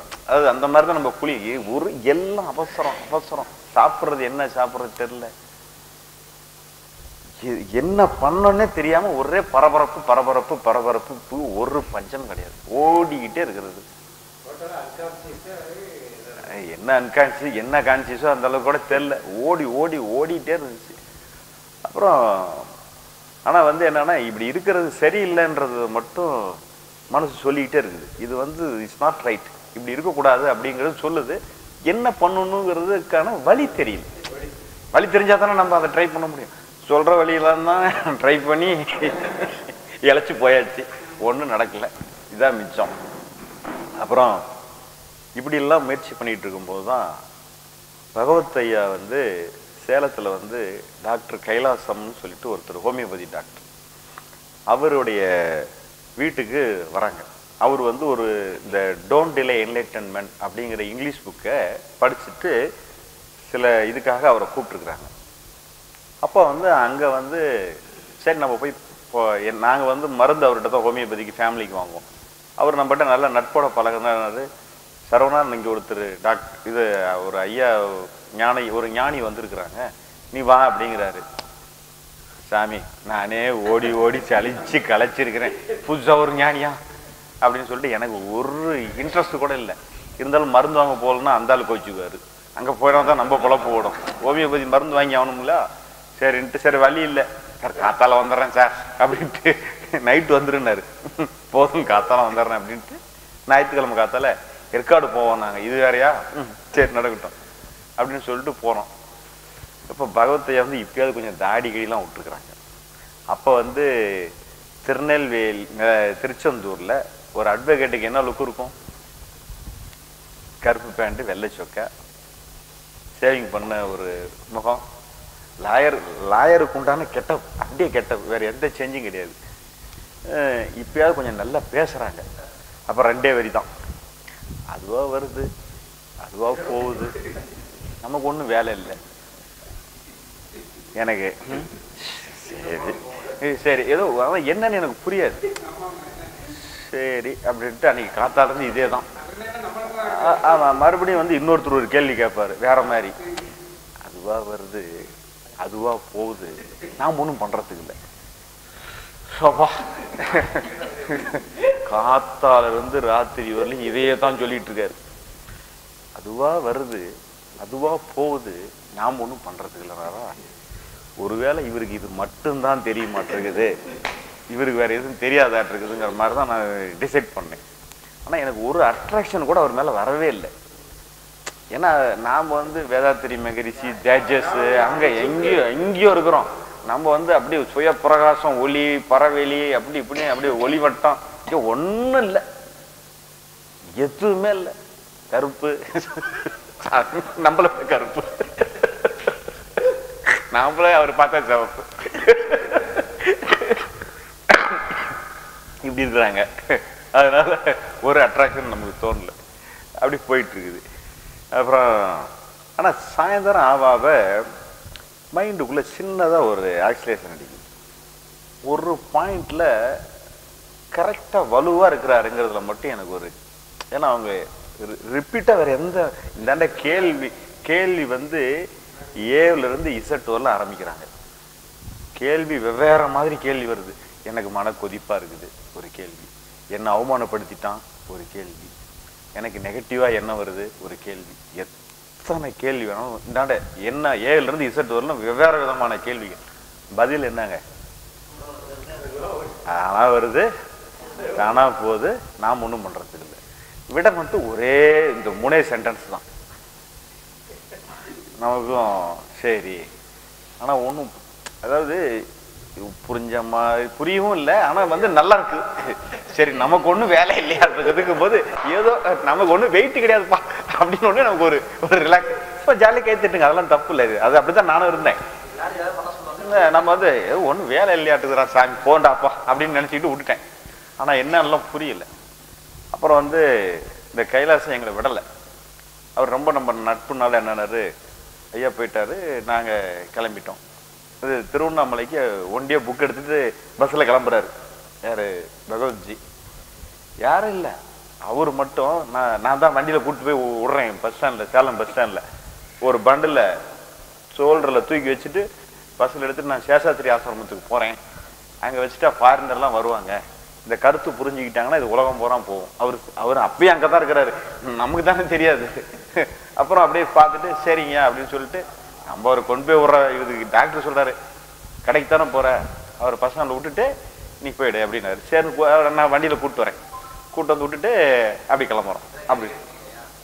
இல்ல நாம அவர்கிட்ட தானா வருதுங்கிறவர்கிட்ட என்ன போய் கேட்கறது அதான் ஒரு நாள் பூரா ஒரே விட தானே. அப்படியே போயிடுச்சு. சரின்ட்டு அப்புறம் வந்துட்டு அப்புறம் இந்த கைலாசம் என்ன பண்ணாரு? எங்களுக்கு வாரம் ரெண்டு நாள் சனிக்கிழமை நாங்கெல்லாம் பிஸ்னஸ் எக்ஸ்போர்ட்டு பிஸியான ஹவர்ஸ்னால சனிக்கிழமை நைட்டு நீங்கள் வந்துடுங்க நம்ம வந்து மூணு சாப்டரு அடுத்த வாரம் ஒரு மூணு சாப்டர் படிச்சிடலான்னு சொல்லி தமிழ்லாம் அப்போ எழுதவே இல்லை. டோன்ட் டிலே என்லைட்மெண்ட் புக்கை வந்து எங்களுக்கு வந்து இங்கிலீஷில் சொல்லி தமிழ் அதுக்கு விளக்கம் கொடுக்குறது. நமக்கு பெரிய இங்கிலீஷ் அறிவுலாம் கிடையாது. அப்போ அந்த ஃபஸ்ட்டு ஒரு மூணு சாப்டர் சொல்கிறாங்க ஒரு ஃப்ளாஸ்க் நிறைய டீ வச்சுக்கிறது. ஏன்னா விடிய விடிய பாடம் படிக்கணும்ல. போட்டு குடிச்சிக்கிறது தலைவாணி நாங்கள் வச்சு படுத்துக்குவோம். அவர் சொல்லுவார் நாங்கள் அப்படியே கேட்டுக்கிட்டு அவருக்கு கொஞ்சம் இன்ட்ரெஸ்ட் அவருக்கு. எக்ஸ்பிளைன் பண்ணுறதில்ல ஏன்னா டீச்சராக அவர் இருந்தாங்க. ஸோ அதனால் கொஞ்சம் ஈஸியாக சொல்லி கொடுத்தாங்க. அதாவது அப்பயும் ஒரு டெப்த்தாக புரியல. மொத்தமாக மனசில் நமக்கு ஒன்றும் வேலை இல்லைங்கிறது மட்டும் அந்த மூணு ரெண்டாவது ஆறு கிளாஸும் பண்ணும்போது ஆறு சாப்டரும் படிக்கும்போது வந்து நம்ம கண்ட்ரோலில் இல்லாமல் மனசு செயல்படுதாட்டிருக்குதுங்கிற மாதிரி ஏதோ ஒரு லைட்டாக ஒரு டீட்டெயிலாக இல்லை ஒரு லைட்டாக ஒரு குடிபட்டுச்சு ஆனால் நாம தான் இவர் வசனம் கேட்டுருக்குறோம்ல தானாக வருது தானாக போகுது நான் ஒன்றும் பண்ணுறதுக்கு இல்லை. இது எனக்கு ரொம்ப பிடிச்சிருச்சு. சரி அப்படின்ட்டு நானாக என்ன பண்ணிக்கிட்டேன் எனக்கு ஒரு பிரச்சனை வருது. யாருக்கு பிரச்சனை இல்லை காத்திறந்து ராஜ்ஜோலும் பிரச்சனை தான். ஒரு ஏதோ ஒரு நெகட்டிவ் எண்ணம் வருது. வந்தோடனே என்ன சொல்லுவேன் இது தானா வருது. இது தானா போயிடும் நாம் ஒன்றும் பண்ண தேவையில்லை. சொன்னோன்னே வெயிட் காலி ஆயிடும். பார்த்தோன்னே ச்சே எவ்வளோ சிம்பிள் டெக்னிக் இது தெரியாம போச்சே அப்படின்ட்டு சொல்ல ஆரம்பிச்சாச்சு. தானா வருது தானா போகுது நானா ஒன்றும் பண்றதுக்கு இல்லை. அப்படின்னு காத்தால இருந்து ராத்திரி வரலும் இதே வேலை. குறுக்கில் பாத்ரூம் போனாலும் இதே வேலை. தானா வருது தானா போகுது நானும் ஒன்றும் யூரின் இல்லை என்ன அப்போ வர்றது. இப்படியே சொல்லி சொல்லி சொல்லி ஓடி ஓடி ஓடி போய்கிட்டே இருந்துச்சு. ஆனா என்னன்னா ஒரு கட்டத்துல என்ன ஆச்சுன்னா இப்படி சொல்றதே ஒரு பெரிய வேலையாயிடுச்சு. சொல்லிட்டே இருக்கணும் காத்திறந்து ராத்திரி வரலும் சொல்றேன் எத்தனைக்கு சொல்றது? பார்த்தா திருப்பி திருப்பி ரிப்பீட்டா இதே ஒரு அஞ்சு மாசம். சொல்லி சொல்லி என் மண்டே வெயிட் ஆயிடுச்சு. தானா வருது தானா போகுது நான் ஒண்ணு பண்ணுது தானா வருது தானா போகுது நான் ஒண்ணு பண்ணுது இந்த இந்த சிம்பு படம் ஒண்ணு வந்துச்சு தெரியுமா? வந்தான் சுட்டான் செத்தான் வந்தான் சுட்டான் செத்தான் வந்தான் சுட்டான் செத்தாங்கிற மாதிரி தானா வருது தானா போகுது நான் ஒண்ணு பண்ண தேவை தானா வருது தானா போகுது நான் ஒண்ணு பண்ண தேவை இதையே திருப்பி திருப்பி திருப்பி திருப்பி சொல்லி இப்படியே ஓடிக்கிட்டு அப்புறம் வந்து மறுபடியும் நாம கொஞ்சம் அறிவாளி இல்லை. நிறைய படிச்சிருக்கிறோம். ஆன்மீக சம்பந்தமா தெரியும்னுட்டு. அவருக்கு இதை கண்டுபிடிச்சிருக்க மாட்டாரு. யாரு? பகவத்யாவுக்கு இதுக்கு விட சொல்ல தெரியாது. நாம் அவரை மடக்கிடுவோம் அப்படின்னு சொல்லிட்டு ஃபோன் பண்ணி ஐயா உங்களை சந்திக்க வரணுங்கய்யா அப்படின்னா வாங்களேன் அப்படின்ட்டாரு. சரின்னு சொல்லிட்டு ஜீவமணி நானே எங்கள் அண்ணாரு டாக்டர் கைலாசம் நாலு பேரும் போகிறோம் நாங்கள் போய் இறங்குறோம். எங்களை ரிசீவ் பண்ணுறதுக்கு பஸ்ஸுக்கிட்ட நின்று எங்கள் பெட்டியெல்லாம் வாங்கி எங்களை கூட்டிகிட்டு போகிறாரு ஐயா வந்து கூப்பிட்டு போகிறாரு வீட்டுக்கு கூட்டிகிட்டு போய் சாப்பிட வச்சு எங்களுக்கெல்லாம் இலை போட்டு பரிமாறுறாங்க. சாப்பிட்டுட்டு பிறகு சாயந்தரம் வந்து கடற்கரைக்கு கூட்டிகிட்டு போகிறாங்க போயிட்டு ஒரு அங்கே மணி ஐயர் மெஸ்ஸுன்னு சொல்லிட்டு திருச்செந்தூரில் கடை இருக்குது அங்கே வந்து சாயந்தரம் சூடாக வாழைக்காய் பச்சி காஃபியை என்னமோ ஒன்று வாங்கி கொடுத்து சாப்பிட்டு கடற்கரை கூப்பிட்டு போகிறாங்க நமக்கு ஒரே டவுட்டு தான். இப்படி காத்தாலேருந்து ராத்திரி வரலும் தானாக வருது தானாக போகுது நாம் ஒன்றும் பண்ணுறதில்லன்னு சொல்லிகிட்டு இருக்கிறோமே. இதுக்கு என்ன தீர்வு? இந்த இதை எப்படி நம்ம வந்து மெயின்டைன் பண்ணுறது எத்தனைக்கு சொல்கிறது காத்தால இருந்து சொல்லிகிட்டு இருக்கிறதே பெரிய வேலையாக இருக்குது. எத்தனைக்கு சொல்கிறது அப்படின்னு கேள்வி.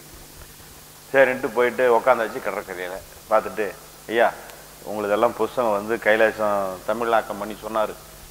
ஓரளவுக்கு புரிஞ்சிடுச்சு. நான் தெரிஞ்சுக்கிட்டது தானாக வருது தானாக போகுது நம்ம ஒன்றும் பண்ணுறதுக்கு இல்லைன்னு நானும் அஞ்சு மாதம் சீரியஸாக பண்ணிகிட்டு இருக்கிறேன். இதை சொல்கிறதே எனக்கு ஒரு பெரிய வெயிட்டாக இருக்குது. இதுக்கு நான் என்ன செய்யணும்? அப்படின்னு சொல்லி சொன்னேன். இந்த தானாக வருது தானாக போகுது நாம் ஒன்றும் பண்ணுறதுக்கு இல்லைன்னு சொல்கிறீங்களா அதுவும் தானாக தான் வருதுன்னாரு. புரிஞ்சுதா? இல்லை இல்லை புரிஞ்சிருச்சு எனக்கு. அதாவது அதுவுமே தானாக தான் வருது அப்படின்னு சொன்னது அதாவது அதை நம்ம வந்து அஞ்சு மாசமா சீரியஸான ப்ராக்டிஸ் அதான் சொல்லல ராத்திரி குறுக்கில் ரெண்டு மணிக்கு எஞ்சா கூட அதே சிந்தனை தான். அப்போ வந்து எனக்கு அந்த ஒ- நான் வந்து பெரிய அஞ்சு மாசமா நீ ரிசர்ச் பண்ணிட்ட நம்ம அவரை மடக்கலாங்கிற மாதிரி நம்ம சிந்தனையில போறோம். அதுவுமே தானே தானே வருதுன்னாரு. இவ்வளவுதான் சொன்னார். ஒரே வரி தான் நான் வந்து பதினஞ்சு இருபது நிமிஷம் பேசுறேன். அதுவும் தானே தானே வருது அப்படின்னாரு. ஓங்கி சுத்தியில மண்டையில நச்சுன்னு ஒரு அடி போட்ட மாதிரி இருந்துச்சு. அதுக்கப்புறம் எனக்கு எந்த கொஸ்டினுமே நோ கொஸ்டின் ரைட் ஏன்னா ஏ- அஞ்சு மாசம் சீரியஸான பயிற்சி. ஒரே அடி. காலி. உட்காந்துட்டேன் கம்முன்னு உட்காந்துட்டேன் மற்றவங்களாம் என்னமோ கேள்வி என்னமோ கேளுங்கடா. நமக்கு இன்னும் ஒன்றும் இல்லை. ஏன்னா என்ன என்ன சொல்கிறேன்னா ஃபர்தர் ப்ரொசீடுன்னு சொல்லுவாங்க. எனக்கு எந்த இதுவுமே ஓட்டமே இல்லை. ஏன்னா நம்முடைய பெரிய வச்சிருந்த இதை வந்து பெரிய கோட்டையாக அப்படியே ஒரு ஒரு சுக்குநூறாக உடைச்ச மாதிரி உடைச்சாச்சு. அதுக்கப்புறம் எனக்கு எந்த தோணலுமே இல்லை. நான் பாட்டுக்கு அவங்க பாட்டுக்கு பேசிக்கிட்டு இருக்காங்க. என்னமோ பேசுங்கப்பா அப்படின்னு நான் பாட்டுக்கு கம்முன்னு ஒரு ஓரமாக உட்காந்துட்டேன் எதுவுமே எனக்கு கேட்க தோணல. எதுவுமே இதா அதான் ஒன்றுமே தோணல. இப்போ எதுவுமே நம்ம கையில் இல்லையா? ஒருத்தர் சிகரெட் குடிச்சிக்கிட்டு இருந்தார். எனக்கு சோபா புகைப்பிடிப்பவர் ஐயாவுக்கு நண்பரா? எப்படி இருக்கலாம்? அப்படின்னு ஒரு யோசனை. இன்னொருத்தர் புயலை போட்டிருந்தாரு. சோபா நமக்கு அப்படியே ஒரு மாதிரி தோணுச்சு. அப்புறம் ஒருத்தர் நான்வெஜ்ஜை பற்றிலாம் பேசிக்கிட்டு இருந்தாங்க. ஐயோ ஐயோ இது என்னடா அது ஒன்றும் புரியலையே. அப்படின்னு சொல்லிட்டு இருந்தாலும் நாங்கள் வந்து இங்கேயும் ஆசிரியர்கள் இல்லையா? அவங்க வந்து அவங்க எல்லாரும் வந்து ஒவ்வொரு தளத்திலையும் ஒரு ஆன்மீகத்தில் தேர்ந்தவளாக இருக்கிறாங்க. நம்ம கருத்து அவங்க கருத்து இனோவா காரில் உட்காந்துக்கிட்டு பேசிக்கிட்டு போகிறோம் ஐயா கடைசி சீட்டுக்கு போயிட்டாரு. நாங்கள்லாம் எப்படி விவாதத்தில் அப்படி எங்கள் குரு சிறப்பா உங்கள் குரு சிறப்பா அப்படி இப்படின்னு போட்டு உருட்டி பிரட்டிட்டு வரோம். அவர் காரில் வராரா வரலையான்னு கூட தெரில ஒரு அவர் பாட்டுக்கு ஒரு சத்தம் இல்லை. அப்படி கம்முன்னு இருக்காங்க. நானும் அப்படியே அப்பப்போ திரும்பி பார்த்துக்குவேன். ஒன்றும் ஒரு ரியாக்ஷன் இருக்காது. ஒன்றும் இருக்காது. கம்மனே இருப்பாங்க. காத்தால இருந்து ராத்திரி வரலும் இப்படியே ஓடுது. அவர் எந்த இதில்? குளிச்சிங்களா? சாப்பிட்டீங்களா? அவ்வளோதான் வேற எதுவுமே கேட்கறது இல்லை. அவ்வளோதான் மொத்த விஷயம். அப்படியே போயிட்டு வருது. நைட் வந்து எங்களை ஜங்ஷனில் ட்ரெயின் ஏற்றி விடுறதுக்கு வராரு. வந்துட்டு ரயில்வே ஸ்டேஷனில் ஒரே ஒரு வார்த்தை தான் சொன்னார். உங்களுக்கு புரிஞ்சிருச்சுன்னா முடிச்சுக்கணும். யாருக்கிட்டையும் நிரூபிக்க வேண்டிய அவசியம் கிடையவே கிடையாது. ஒரே லைன் தான். நீங்கள் யார்கிட்டையும் சர்டிஃபிகேட் எதிர்பார்க்க வேண்டியதில்லை உங்களுக்கு புரிஞ்சிருச்சுன்னா முடிச்சிக்கங்க. போதும் அப்படின்னாரு. இவ்வளோதான் சொன்னார். முத நாள் இருந்து நான் கேட்டதுக்கு கடைசியாக சொன்ன ஒரே வரி இது ஒன்றே ஒன்று தான் இதுவும் கேட்டதே கிடையாது. அப்படியா? சரி அவ்வளோதான் அந்த ஒரு நிதானத்தன்மைங்கிறது அவங்கக்கிட்ட அப்படி இருக்கு. இப்போ வந்து யாராவது பேசுனாங்கன்னா நிறுத்திடுவார். கிட்டத்தட்ட ஒரு நாள்லாம் அப்போ வந்து ரெண்டு சாதுக்கள் மாதிரி யாரோ ரெண்டு பேர் இவ்வளோ நீட்டம் தாடி இவர் சும்மா இருக்கிறாரு அவங்க இவ்வளோ நீட்டம் தாடி உத்தராட்சம் இங்கே ஒரு மாலை இங்கே ஒரு மாலை வீட்டுக்கு வந்திருந்தாங்க ரெண்டு சாமிகள் வந்திருந்தாங்க. சரின்ட்டு வந்தாங்க ஒரே வேதம் உபநிஷத்து நமக்கு அந்த வார்த்தையே தெரியாது என்னென்னமோ சொல்லிக்கிட்டு இருந்தாங்க. காத்தால வந்தாங்க பத்து மணிக்கு. ஆரம்பிச்சாங்க ஐயா இப்படி உட்காந்துருக்காரு எழுப்புறவங்க ரெண்டு பேரும் சேர் போட்டு உட்காந்துருக்காங்க நான் அந்தாண்ட ஒரு சேரில் ஓரமாக உட்காந்துருக்கிறேன் வந்தாங்க அவங்களே வந்து இதில் வேதத்தில் இது சொல்லுது உபநிஷத்தில் அது சொல்லுது இது சொல்லுதுன்னு இவங்க பாட்டுக்கு சொல்லிக்கிட்டே இருக்காங்க. இவர் கண்ணை கூட இப்படிங்கள அவ்வளோதான் இவ்வளோதான் மொத்த ரியாக்ஷனே இவ்வளோதான் பதினொன்றாச்சு நான் டீ எல்லாத்துக்கும் கொண்டு வந்து கொடுத்தேன். குடிச்சிட்டாங்க. மறுபடியும் அவங்க அப்படியே கண்டினியூ பண்ணுறாங்க அதே வேதம் உபநிஷத்து அவங்களே பேசிக்கிட்டு இருக்காங்க. இவர் அப்படியே இப்படி இருக்காரு. மறுபடியும் ஒன்றாச்சு. ஐயா சாப்பாடு ஏழுச்சுன்னு சாப்பிட்றலான்ட்டாங்க சாப்பிட்டாங்க. ஐயா நாங்கள் போயிட்டு வரோங்க ஏன்னு அவங்க சாப்பிட்டு போயிட்டாங்க? எனக்கு நான் தாங்க முடியல. வந்தேன். ஐயா என்னங்கய்யா? இவங்க வந்தாங்க. இவங்க என்னங்கய்யா? என்னங்கய்யா அவங்களை எடுத்துக்கிறது? அப்படின்னேன். அவர் வந்து நமக்கு எந்த வாய்ப்புமே அவங்க தரல பார்த்தீங்களான்னு நான் இதுக்கு என்ன நமக்கு பேசுறதுக்கு அவர் வாய்ப்பே தரலன்னாரா? எனக்கு இந்த பதில் வந்து இப்படி யாருமே சொல்லவே முடியாதுல்ல. யோசிச்சு பாருங்க. இப்ப நமக்கு பேசுறதுக்கு வாய்ப்பு கொடுத்தா தான் நம்ம சொல்ல முடியும். அவங்க நமக்கு வாய்ப்பே தரலனாரா? எனக்கு வேற மாதிரி ஆயிடுச்சு. சரி ஏன் அவர் அப்படி அந்த ஸ்டேட்ல இருக்கிறாங்க அப்படின்றத பயங்கர பிரமிப்பாயிடுச்சு அப்புறம் புரிஞ்சுட்டு அப்புறம் என்னன்னு கேட்டிங்கன்னா அவரோட வந்து ஃபுல் அட்டாச்மெண்ட் ஆக ஆரம்பிக்கிறோம். புக்ஸ் நிறைய எழுதுறாங்க. நம்ம வந்து ஒவ்வொரு நிகழ்வுலையும் நம்ம சந்திக்கிறோம். ஃபெயில் ஆகிறோம். கேட்குறோம் டிஸ்கஸ் பண்ணுறோம் ஃபெயில் ஆகிறோம் கேட்குறோம் டிஸ்கஸ் பண்ணுறோம் அப்போ வந்து மனசை வந்து நம்மளால் கட்டுப்படுத்தவே முடியாது. அது ஒரு இயற்கையின் கருவி அப்படின்றத வந்து நாம் ஏற்றுக்கிறதுக்கு தயாராகிட்டால் மேட்ரு முடிஞ்சு போச்சு. புரியுதுங்களா? நான் அதாவது நம்மளுடைய மொத்த எதிர்பார்ப்பு என்னன்னா நான் சொல்கிற மாதிரி என் மனம் நடக்க வேண்டும் அப்படிங்கிறது என்னுடைய எதிர்பார்ப்பு. இப்போ வந்து நான் போய் சூரியனை வந்து நான் சொல்கிற மாதிரி நடனம் சூரியன்கிட்ட சொன்னேன்னு வச்சுங்க சூரியன் கேட்பாப்லையா தெருகண்டி ஜெருகண்டின்ட்டு அவர் பாட்டுக்கு அவர் போவார். புரியுதுங்களா? ஒரு மழை பெய்யுது. நான் இப்போ அவசரமாக கிளம்பணும். ஸ்டாப் அப்படின்னு சொல்கிறீங்க கேட்குமா காத்தடிக்குது. இவ்வளோலாம் வேகமாக அடிக்கக்கூடாது. போகிறோம்ல புளிஞ்செல்லாம் கிளப்புதில்ல. ஏப்பா அப்படிங்கிறீங்க. கேட்குமா ஆறு ஓடிட்டு இருக்குது இவ்வளோ வேகமாலாம் ஓட வேண்டாம். கொஞ்சம் நிதானம். கேட்குமா இயற்கையின் இயக்கம் எல்லாமே தொடர்ந்து நடந்து கொண்டே இருக்கிறது. ஒரு அருவி எடுத்துக்கங்க ஒரு ஆறு எடுத்துக்குங்க காற்று எடுத்துக்குங்க பஞ்சபூதங்கள் எல்லாத்தையுமே எடுத்துக்குங்க மேகங்கள் எடுத்துக்குங்க எதை கூட எடுத்துக்குங்க. எல்லாமே பர்மனெண்ட்டாக இருக்கா? இயங்கிக்கிட்டே இருக்கா. மூமெண்ட்ரியா ஸ்டில்லா மொமெண்ட் இயக்க அதாவது தொடர்ந்து இயங்கி கொண்டிருக்கக்கூடிய ஒரு இயக்கம். அப்படின்னு சொன்னா சரியா போச்சா? அதாவது ஒரு ஒரு இப்படி மாதிரி ஒரு பில்டிங் மாதிரி இல்லை. தொடர்ந்து மூவபிளா ஆயிட்டு இருக்கிற ஒரு விஷயம்.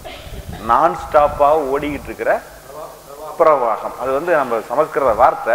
உங்களுக்கு விஷயத்தை நீங்க உள்ள புரிஞ்சுக்கணுங்கிறத தான் சொல்ல வரேன். தொடர்ந்து ஓடிக்கொண்டிருக்கக்கூடிய ஒரு இயக்கம். அந்த இயக்கத்தை வந்து நாம் வந்து ஒரு கட்டமைப்புக்குள்ள கொண்டு வரணும்னு நினைக்கிறது யாரு? நமது அறிவு. இப்போ அறிவு எது மனசு எதுன்னு உங்களுக்கு தெரிஞ்சுக்கிட்டீங்கன்னா மேட்ரே முடிஞ்சு போச்சு. புரியுதுங்களா?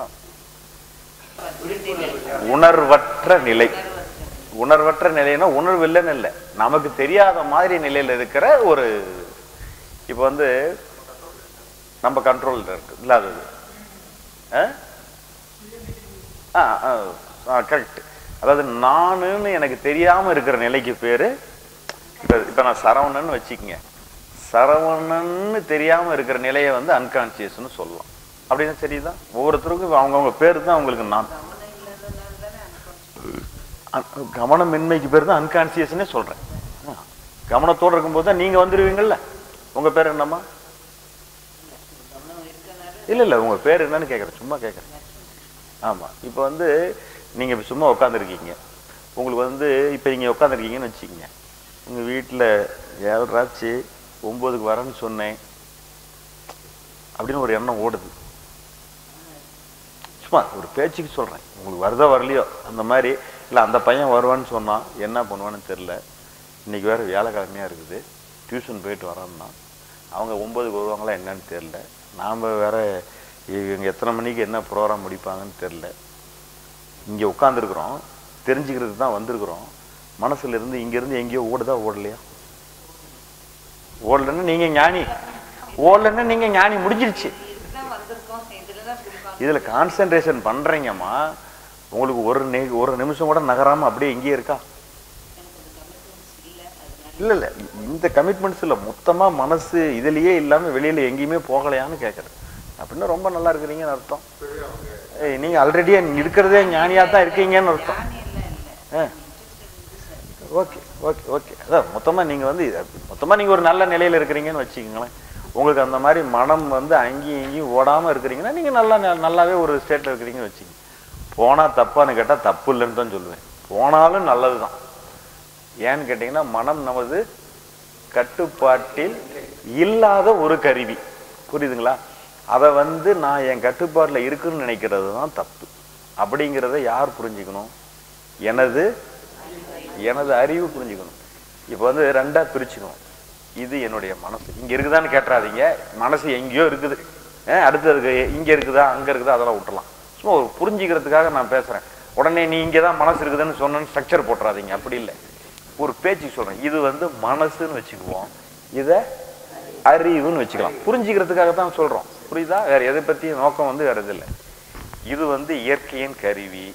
இதை பயன்படுத்தி தான் இந்த அறிவை செயல்படுத்துகிறோம் புரியுதுங்களா? இங்கே வர்றது நேச்சர் இதை வச்சு வெளியில் எனக்கு தேவைன்னா யூஸ் இதை செயல் செய்கிறது இங்கே இதை இங்கே பேஸ் பண்ணி. இங்கே வர்றது நேச்சர் எப்படி ஆறு கறி மேகம் சூரியன் இதை மாதிரி வந்து மைண்டுன்றது நேச்சுரல் அந்த நேச்சுரல் இயக்கத்தில் அங்கங்கே அது வெளிப்படும். என்னன்னு போனால் வருவானா வரமாட்டானா? அப்படின்னு வெளிப்படுத்த நம்ம என்ன பண்ணோம் நமக்கு டைம் ஆச்சுன்னா ஒரு ஃபோன் பண்ணி ஏப்பா எங்கே இருக்கிற? இவ்வளவுதானே மொத்த விஷயம்? இதை விட்டுட்டு இங்க சரி பண்ணணுமா ஃபோன் பண்ணணுமா சூப்பர் அவ்வளவுதான். இங்க சரி பண்றதுக்கு ஒன்றும் கிடையாது. ஏன்னா அது நம்ம கட்டுப்பாட்டுல இல்லாம டப்பு டப்புன்னு தூக்கி போடும். சரி இப்போ அதெல்லாம் இல்லை. இப்போ இப்போ நம்ம பாட்டு சும்மா உட்காந்துருக்குறோம் அடுத்த வருஷமாவது பில்டிங் கட்டிடலான்னு இப்போ ஒன்று தாட் வருது. சும்மா சொல்கிறேன் தற்செயலாக ஒன்று வருது. இப்போ இதுக்கு என்ன பண்ணும் நீ வந்துட்டு போக விட்டுற வேண்டியது. நாம போ அதுக்கு அதுக்கு பிளான் பண்ண வேண்டியது இப்போ அடுத்த வருஷத்துக்கு இப்போ என்னத்தை பிளான் பண்ண போறீங்க? அது அது- அதாவது என்னன்னா நமக்கு அதனால டிஸ்டர்பன்ஸ் அதிகமாகுது. அதுக்காக நம்ம டென்ஷனாக இருக்குதுங்கிறதுக்காக கேட்டுக்கிட்டோம். இப்போ அடுத்த வருஷம் வீடு கட்டுறதுக்கு இப்போ என்ன பண்ண போகிறோம் அது கட்டுறதுக்கு பணம் ரெடியான வாட்டி அதுக்கான வேலை செய்யும்போது அதுக்கு யோசிச்சுக்கிட்டா போதும். இப்போயே அதை பற்றி போட்டு அன்வான்டாக யோசிக்க வேண்டிய அவசியம் இல்லை. வரக்கூடிய எண்ணத்துக்கு ரெஸ்பான்ஸ் பண்ணி தான் வேணா போயிட்டேன்னு சொல்கிறேன் அதான் சொல்கிறேன் எண்ணத்துக்கும் நமக்கும் சம்பந்தமே இல்லை. அதை தான் சொன்னேன். அதுதான் அதுவாக வருது அதுவாக போகுது. நமக்கு ஒன்றும் வேலை நமக்கு ஒன்றும் இல்லைன்னா என் அறிவுக்கு வேலை இல்லை. மனம் தானாக ஒரு எண்ணத்தை வெளிப்படுத்துகிறது. அது தானாகவே மனம் அப்புறப்படுத்தி விடும். எனது அறிவிற்கு அதில் எந்த ஒரு வேலையும் இல்லை அப்படின்னு புரிஞ்சுக்கிறதுக்கு பேர் தான் ஞானம். நீ உள்ள பூந்து உன் எண்ணத்து கூட பைண்ட் ஆகிக்கிறதுனால தான் பிரச்சனை. உனக்கு இப்போ பக்கத்து வீட்டில் ஒரு காலிங் பில் அடிக்குது. நீ அதுக்கு ரெஸ்பான்ஸ் பண்ணுவியா? உங்கள் வீட்டு அடித்தா நீ கேட்கலாம்.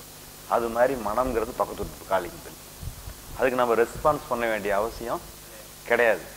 நாம் அதுக்கு ரெஸ்பான் இப்போ பக்கத்து ஊரில் பெல் அடித்தா நீ போய் வந்து இல்லைங்க அவங்க எல்லாம் வெளியில் போயிருக்கிறாங்க நீங்கள் யாரும் சும்மா அடிச்சுக்கிட்டு இருக்காதீங்க. அவன் அடிக்கணும் அவன் அவன் அவன் ஒரு ரெண்டு தடவை அடித்து பார்த்துட்டு அவனா போயிடுவான் அந்த மாதிரி உள்ள இந்த பெல் அடிக்கிறதே அடிச்சுட்டு நமக்கு வெளியில் வேலை இருந்தால் நம்ம ரெஸ்பான்ஸ் எடுக்கணும். வேலை இல்லைன்னா சும்மா விட்டுட்டா போதும். அதுவே போயிடும் பகுத்தறிவுங்கிறது நம்ம அறிவுமா என்னன்னு பிரிச்சு புரிஞ்சுக்கிறதுக்கு பேர் பகுத்தறிவு.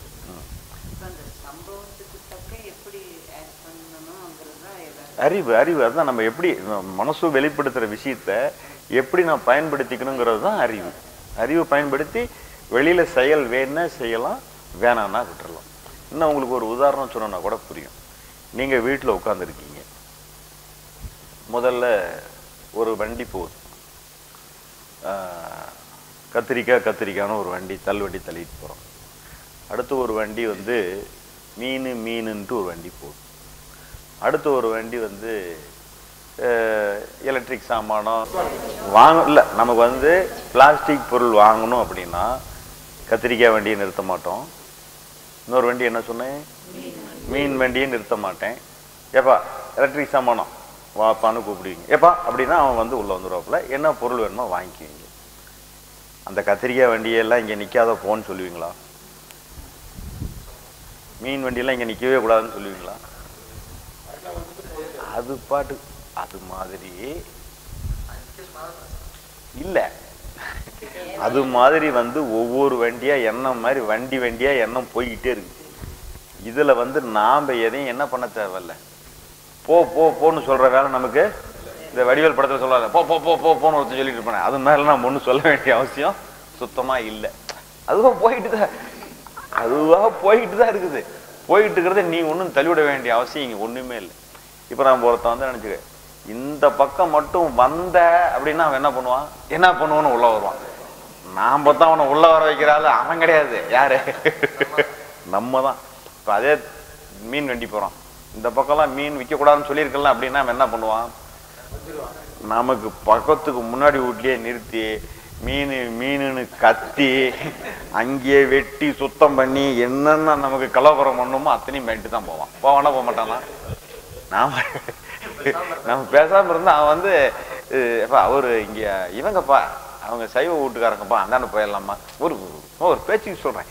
அவங்க கூட கம்முன்னு போயிடுவான் நாம ஏதோ பண்ணுறங்கிற பேரில் ஆரம்பிச்சாதான் டார்ச்சர் இது வந்து வெளியில இல்லை. மனசுக்குள்ள இதே மாதிரி வண்டி வண்டியா எண்ணங்கள் வந்துக்கிட்டே இருக்குது வந்துக்கிட்டு இருக்கிற எண்ணத்துல நாம என்ன பண்ணிடுறோம்? செயலுக்கு வேணும்னா எடுத்துக்கணும். மற்றபடி தேவை அது வந்து ஓராயிரம் குப்பையை வெளியே தெளிக்கிட்டே இருக்கும். அத்தனைக்கும் நம்ம செயல் செய்ய வேண்டிய அவசியம் இருக்கா? தேவையே இல்லை. செயல் செய்யறதை பத்தி இன்னொரு எக்ஸாம்பிள் கூட சொல்லலாம். ஒரு பெரிய மாமரம் இருக்குதுன்னு வச்சுக்கோங்க. ஒரு மாமரத்துல பூ பூக்கும்போது எவ்வளவு பூ பூக்கும்? பூ பூக்கிற டைம்ல பாத்தீங்கன்னா லட்சக்கணக்கில் பூ பூக்கும். ஓகேவா மரம் பூரா பூவா இருக்கும் நீங்க பாத்தீங்கன்னா. பூ பூக்கிற அத்தனை பூவும் பிஞ்சு பிடிக்கிறதா? பிடிக்கிறது இல்லை உதாரணத்துக்கு ஒரு லட்சம் பூ பூக்குது. ஒரு ஐடியாவுக்கு சொல்கிறேன் அதுக்குன்னு கணக்கு எண்ணிக்க வேண்டாம். ஒரு லட்சம் பூ பிடிக்குது அப்படின்னா பத்தாயிரம் பிஞ்சு பிடிக்கும். அந்த பத்தாயிரம் பிஞ்சும் வந்து அப்படியே காயாயிருமா? பத்தாயிரத்துல ஒரு ஆயிரம் திரண்ட காயாக மாறினா பெரிய விஷயம். அப்போ பத்தாயிரம் காய் வரு சாரி ஆயிரம் காய் வருவதற்கு எவ்வளோ பூ பூக்க வேண்டியது இருக்குது? புரியுதுங்களா? இப்ப அப்படியே திருப்புறோம். ஒரு லட்சம் எண்ணம். அந்த ஒரு லட்சம் எண்ணத்தையும் நம்ம எடுத்து சிந்திக்கிறோமானா அதுல ஒரு பத்தாயிரத்தை தான் எடுத்து என்ன பண்றோம்? எல்லாத்தையும் சிந்திக்கிறது இல்ல ஒரு லட்சத்துல ஒரு பத்தாயிரத்தை எடுத்து தான் சிந்திக்கும் சிந்திக்கிற அத்தனையும் செயலாக்கம் படுத்திடுறோமா? அதுல பத்தாயிரத்துல ஆயிரம். அப்போ ஒரு லட்சம் எங்க? ஆயிரம் எங்க? நாம் ஒரு லட்சத்தில் கான்சன்ட்ரேட் பண்ணணுமா? ஆயிரத்தில் கான்சன்ட்ரேட் பண்ணணும்? கரெக்ட் செயல் செய்வதற்குத்தான் அறிவு. புரியுதுங்களா? ஏன்னா நம்ம இதை பற்றி டீட்டெயிலாக நிறைய பேச போகிறேன் இப்போ சும்மா இது ஒரு சும்மா என்னன்னா என்ன என்ன அது வந்து இது இது ஒரு சும்மா ஒரு ஐடியாவுக்கு மட்டும் வச்சுக்கோங்க. அவ்வளோதான் ரொம்ப சீரியஸாக போனோம்னா சும்மா அதை தான் மூணு நாள் வகுப்பு இதை தான் பேச போகிறோம் இப்போ வந்து இப்போ உங்களுக்கு ஒரு இன்ட்ரோ மாதிரி ஒரு ஐடியா தான் நம்ம நம்ம கொடுத்துக்கிட்டு இருக்கோம். இப்போ வந்து இந்த மாதிரி நமக்கு வந்து வருகிற எண்ணங்களில் நமக்கு யாதொரு வேலையும் இல்லை அப்படிங்கிறத அறிவுபூர்வமா நாம் விளங்கிக்கிட்டா நமக்கு வந்து இப்போ அடுத்தது ஒரு கொஸ்டின் வரும். நான் பாட்டு உட்காந்துருக்கிறேன் எனக்கே கவனம் இல்லாமல் ஏது ஏதோ எண்ணம் வந்துக்கிட்டே இருக்குது. ஒரு பத்து நிமிஷம் ஆயிட்டது. நம்ம தான் இப்படி யோசிச்சுக்கிட்டு இருக்கிறோம். அப்படிங்கிறது நமக்கு தெரியுமா? தெரியாதா? தெரியும். அரை மணி நேரத்துலயாவது தெரியுமா தெரியாதா? ஒரு நாள்லயாவது தெரியுமா தெரியாதா? அரை மணி நேரத்துலயோ ஒரு மணி நேரத்துலயோ எங்கேயோ ஒரு இடத்துல தெரியும். நம்மளை அறியாமல் நாம் அது கூட உழன்று கொண்டிருக்கிறோம் அப்படிங்கிறது ஒரு இடத்துல நிச்சயமா தெரிஞ்சிடும். ஒரு ஒரு கட்டத்துல தெரிஞ்சிடும் தெரியாம போகாது. ஒரு குறிப்பிட்ட எல்லையில எப்படி அதாவது அந்த- அந்த ஒருத்தருக்கு வந்து பத்து நிமிஷத்துல தெரியலாம். ஒருத்தருக்கு பதினஞ்சு நிமிஷத்துல தெரியலாம். ஒருத்தருக்கு ரெண்டு நாள்ல கூட தெரியலான்னு வச்சுக்கங்க. இப்படி ஆக தெரியும். இவங்க என்ன பண்ணுவாங்க தெரிஞ்ச உடனே ரெண்டு நாள் நம்ம இப்படி போட்டு யோசிச்சுக்கிட்டு இருந்தோமே நினைப்பாங்க. இருந்தாலும் அதுக்கு என்ன பண்ணணுங்கிறதுக்கான விடையும் அவங்களுக்கு தெரியாது. நமக்கு இப்படியே நாம் இருக்கிறோமேன்னு சொல்லி நாம் ஒரு காலமும் உருப்படவே முடியாதுன்னு தான் முடிவுக்கு வருவாங்களே தவிர அப்படித்தானே வருவோம். நம்ம சரியில்லை. நம்ம சொல்றதே வந்து நான் சரியில்லை. இப்படித்தானே சொல்லுவோம். பத்தாவது ஜோசிகாரம் போயிட்டா எப்போ கேட்டாலும் நேரம் சரியில்லைங்க. நான் சொன்னேன் ஆ? எனக்கு பிறந்ததுலேருந்தே நேரம் சரியில்லைன்னு தான் சொல்லிட்டு இருக்காரு. நான் வந்து அப்புறம் வந்து ப- ஒரு இருபத்தி ரெண்டு வயசுல என்னமோ கும்பிட்டேன். இனிமேல்ட்டு இந்த இந்த வேலையை போண்டா சாமின்னு இனிமேல் நான் அப்பயே நிப்பாட்டிட்டேன். எது நடந்தாலும் நடக்குது. என்னமோ சொல்லிட்டு போறான். நம்மள ஆளை விட்டுரு சாமி. நமக்கு இந்த வேலையே வேணும். இந்த விளையாட்டுக்கே வரலன்னு சொல்லிட்டு இருபத்தி ரெண்டு வயசுலேயே டிக்ளேர் பண்ணி முடிவு பண்ணி வெளியே வந்துட்டேன். ஐயா சொல்லிட்டாரு ஒரு தடவை கேட்டேன் ஐயா ஜோசியெல்லாம் இப்படி அப்படிங்கிறாங்க நமக்கு அதுல வேலையே ஞானிக்கு வந்து அதெல்லாம் தூக்கி போட்டுங்க அதுக்கு நமக்கு சம்மந்தமே கிடையாது அப்படிங்கிறாரு. அதெல்லாம் நம்ம வந்து அதெல்லாம் வந்து சாதாரண ஆளுக்கு நீங்க ஞானிக்கு அதுக்கு சம்மந்தமே கிடையாது ஒரே வார்த்தை. அப்போ அதுக்கப்புறம் எனக்கு வந்து அந்த அந்த ஜோசியம் இந்த இது அம்மானிஷம் இதெல்லாம் ஒரு வேலையில் அறிவை நல்லா பயன்படுத்தி சிறப்பான செயல்களை செய்யணும். மகிழ்வா நிறைவா வாழ்க்கையை வாழணும். மற்றவனுக்காக நாம் வாழ வேண்டிய அவசியம் இருக்கா? நம்ம வாழ்க்கையை நாம் வாழணுமா? இதுதான் முக்கியம். நம் வாழ்க்கையை நாம் நல்லபடியாக வாழணும். ஊரானுக்கு பார்த்து பார்த்து பார்த்து அவனுக்காக நாம் வீடு கட்டி அவனுக்காக நாம் கார் வாங்கி அவனுக்காக நாம் கல்யாணம் பண்ணி. இல்லை சொல்கிறேன் இல்ல அவன் பையனுக்கு அப்படி கல்யாணம் பண்ணிட்டான். நான் என் பையனுக்கு இப்படியா? இப்படி ஒன்னொன்னு டேய் உனக்குன்னு ஒரு சுய அறிவே கிடையாதான் அவனை பார்த்தே தான் எல்லாம் செய்வியான் இப்படி படாத பாடுபட்டு சேர்த்து சேர்த்து சீரழிந்தது போதும். போதுமா? போதாதா? தயவு செஞ்சு இனிமேலாட்டாவதும் எவங்கிட்டையும் சர்டிஃபிகேட்டை வேண்டாம். அவனுக்கு நிரூபிக்கிறேன்னு சொல்லி நீங்க சின்ன பண்ணம் ஆகாதீர்கள். உங்களுக்கான வாழ்க்கையை நீங்கள் மகிழ்வாக வாழுங்கள். இவ்வளவுதான் நான் சொல்லிக்கிற ஸ்டேட்மெண்ட் எதுமா மொத்தமா அவனை ஜெயிக்கணும்ல நாம. விஷயம் தான் ஆமாம் இல்லை. மொத்தமா அவனை வந்து நீ நூறுனா நான் நூற்றி ரெண்டுன்னு காமிக்கணும். இவ்வளவுதான் இங்க விஷயம். ஆமா. ஆமா உன்னை விட நான் சிறப்பு மிக்கவன். அதான் மொத்த விஷயம். ஆமா அதுக்கு என்ன பண்ணணும்னு தெரியாதனால தான் நம்ம அதுக்கு இம்பார்ட்டன்ஸ் கொடுத்து அதில் மாட்டிக்கிறோம். இப்போ நீ நல்லா புரிஞ்சுக்கிட்டின்னு வச்சுக்க. ஓ நீ வந்திருக்கியா? நமக்கு ஒன்றும் வேலை இல்லை நீ கம்முன்னு விட்டுருவில்ல இப்போ. அப்போ நீ புரிஞ்சுக்குவ. இது தானா வருது? தானா போகுது. இதுல எனக்கு ஒரு வேலையும் இல்லைப்பா. எனக்கு வேலை எதுல? எனது படிக்கிறது எனது எழுதுறது எனது வேலை பார்க்கறது சம்பாதிக்கிறது என் வாழ்க்கையை மகிழ்ச்சியா வாழ்றது தானே தவிர அடுத்தவனுக்கு சர்டிஃபிகேட்டே வேணான்றேன். அவன் நமக்கு வந்து சொல்லுங்க.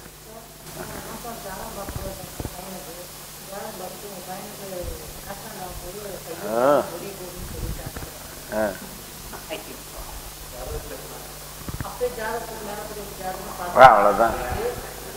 வந்து உங்களுடைய இயற்கை இருக்குது இல்லையா?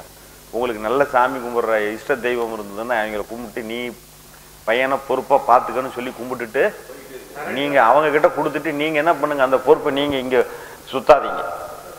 பல பேருக்கு என்ன நினைப்பு இருக்குதுன்னா பூமியை இவர் தோள்பட்டையில வச்சு தான் இயக்கிறதா ஒரு நினைப்பு இருக்கு. நம்மள நிறைய பேர் இருப்பாங்க. நான்லாம் இல்லைன்னு வச்சுக்கங்க. இந்த குடும்பத்துல ஒண்ணு நடக்குன்னு நினைக்கிறேன். கம்பெனியில ஒண்ணும் நடக்காது அப்படிம்பா. நீ இல்லைன்னா நல்லா இருக்கும் இவன் ஒரு ரெண்டு நாள் உடம்பு சரியில்லைன்னு படுப்பான். அங்கே கேட்பான் அவன் பார்த்து சார் இதை அனுப்பிச்சிட்டேன் அதை அனுப்பிச்சிட்டேன். இதைத்தாண்டா நீயும் போய் செஞ்ச. அதையே தாண்டா அவன் ஃபோனில் சொல்கிறான் இவ்வளோதான விஷயம்? நமக்கு வந்து அப்படி ஒரு நினைப்பு. நாம் இல்லைன்னா இந்த உலகமே சுத்தாதுன்னு. அது ஒன்று யாரும் கண்டுக்கிறதே கிடையாது. இந்த வினோதய சித்தம் ஒரு படம் வந்துச்சு தெரியுமா?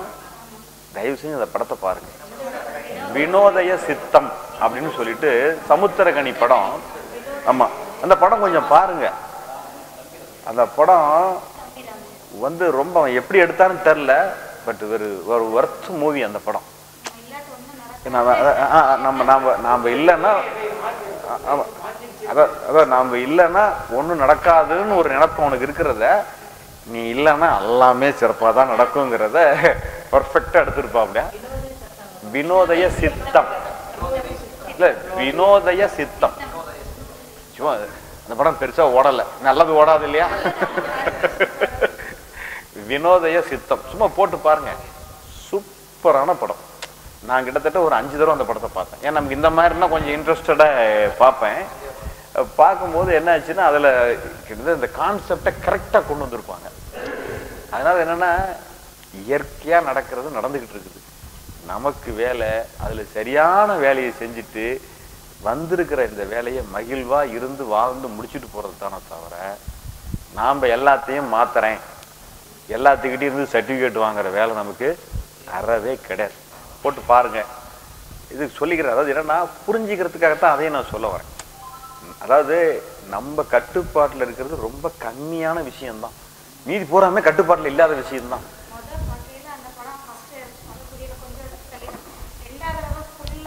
பொறுமையா பார்க்கணும். ரொம்ப பொறுமையா பார்த்தீங்கன்னா தான் அவரும் பரபரப்புல தம்பி ராமையாலாம் உண்மையிலே பிரமாதமா நடிச்சிருப்பாப்புல.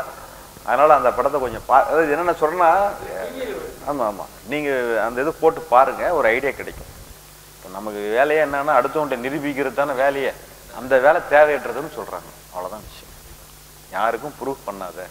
உனக்கு தெரிஞ்சால் நீ வாழு. அவ்வளோதான் நீ வாழ்கிறத பார்த்து தான் வந்து கேட்டான்னு வச்சுக்கோ. டே என்னடா மாப்பிள்ளை பண்ணுற அப்படின்னு கேட்டான்னா அப்போ சொல்லு. அதுக்கு முன்னே நம்மளா வழினா போய் சொன்னால் அதை மாதிரி கேவலம் எதுவுமே கிடையாது. இவ்வளோதான்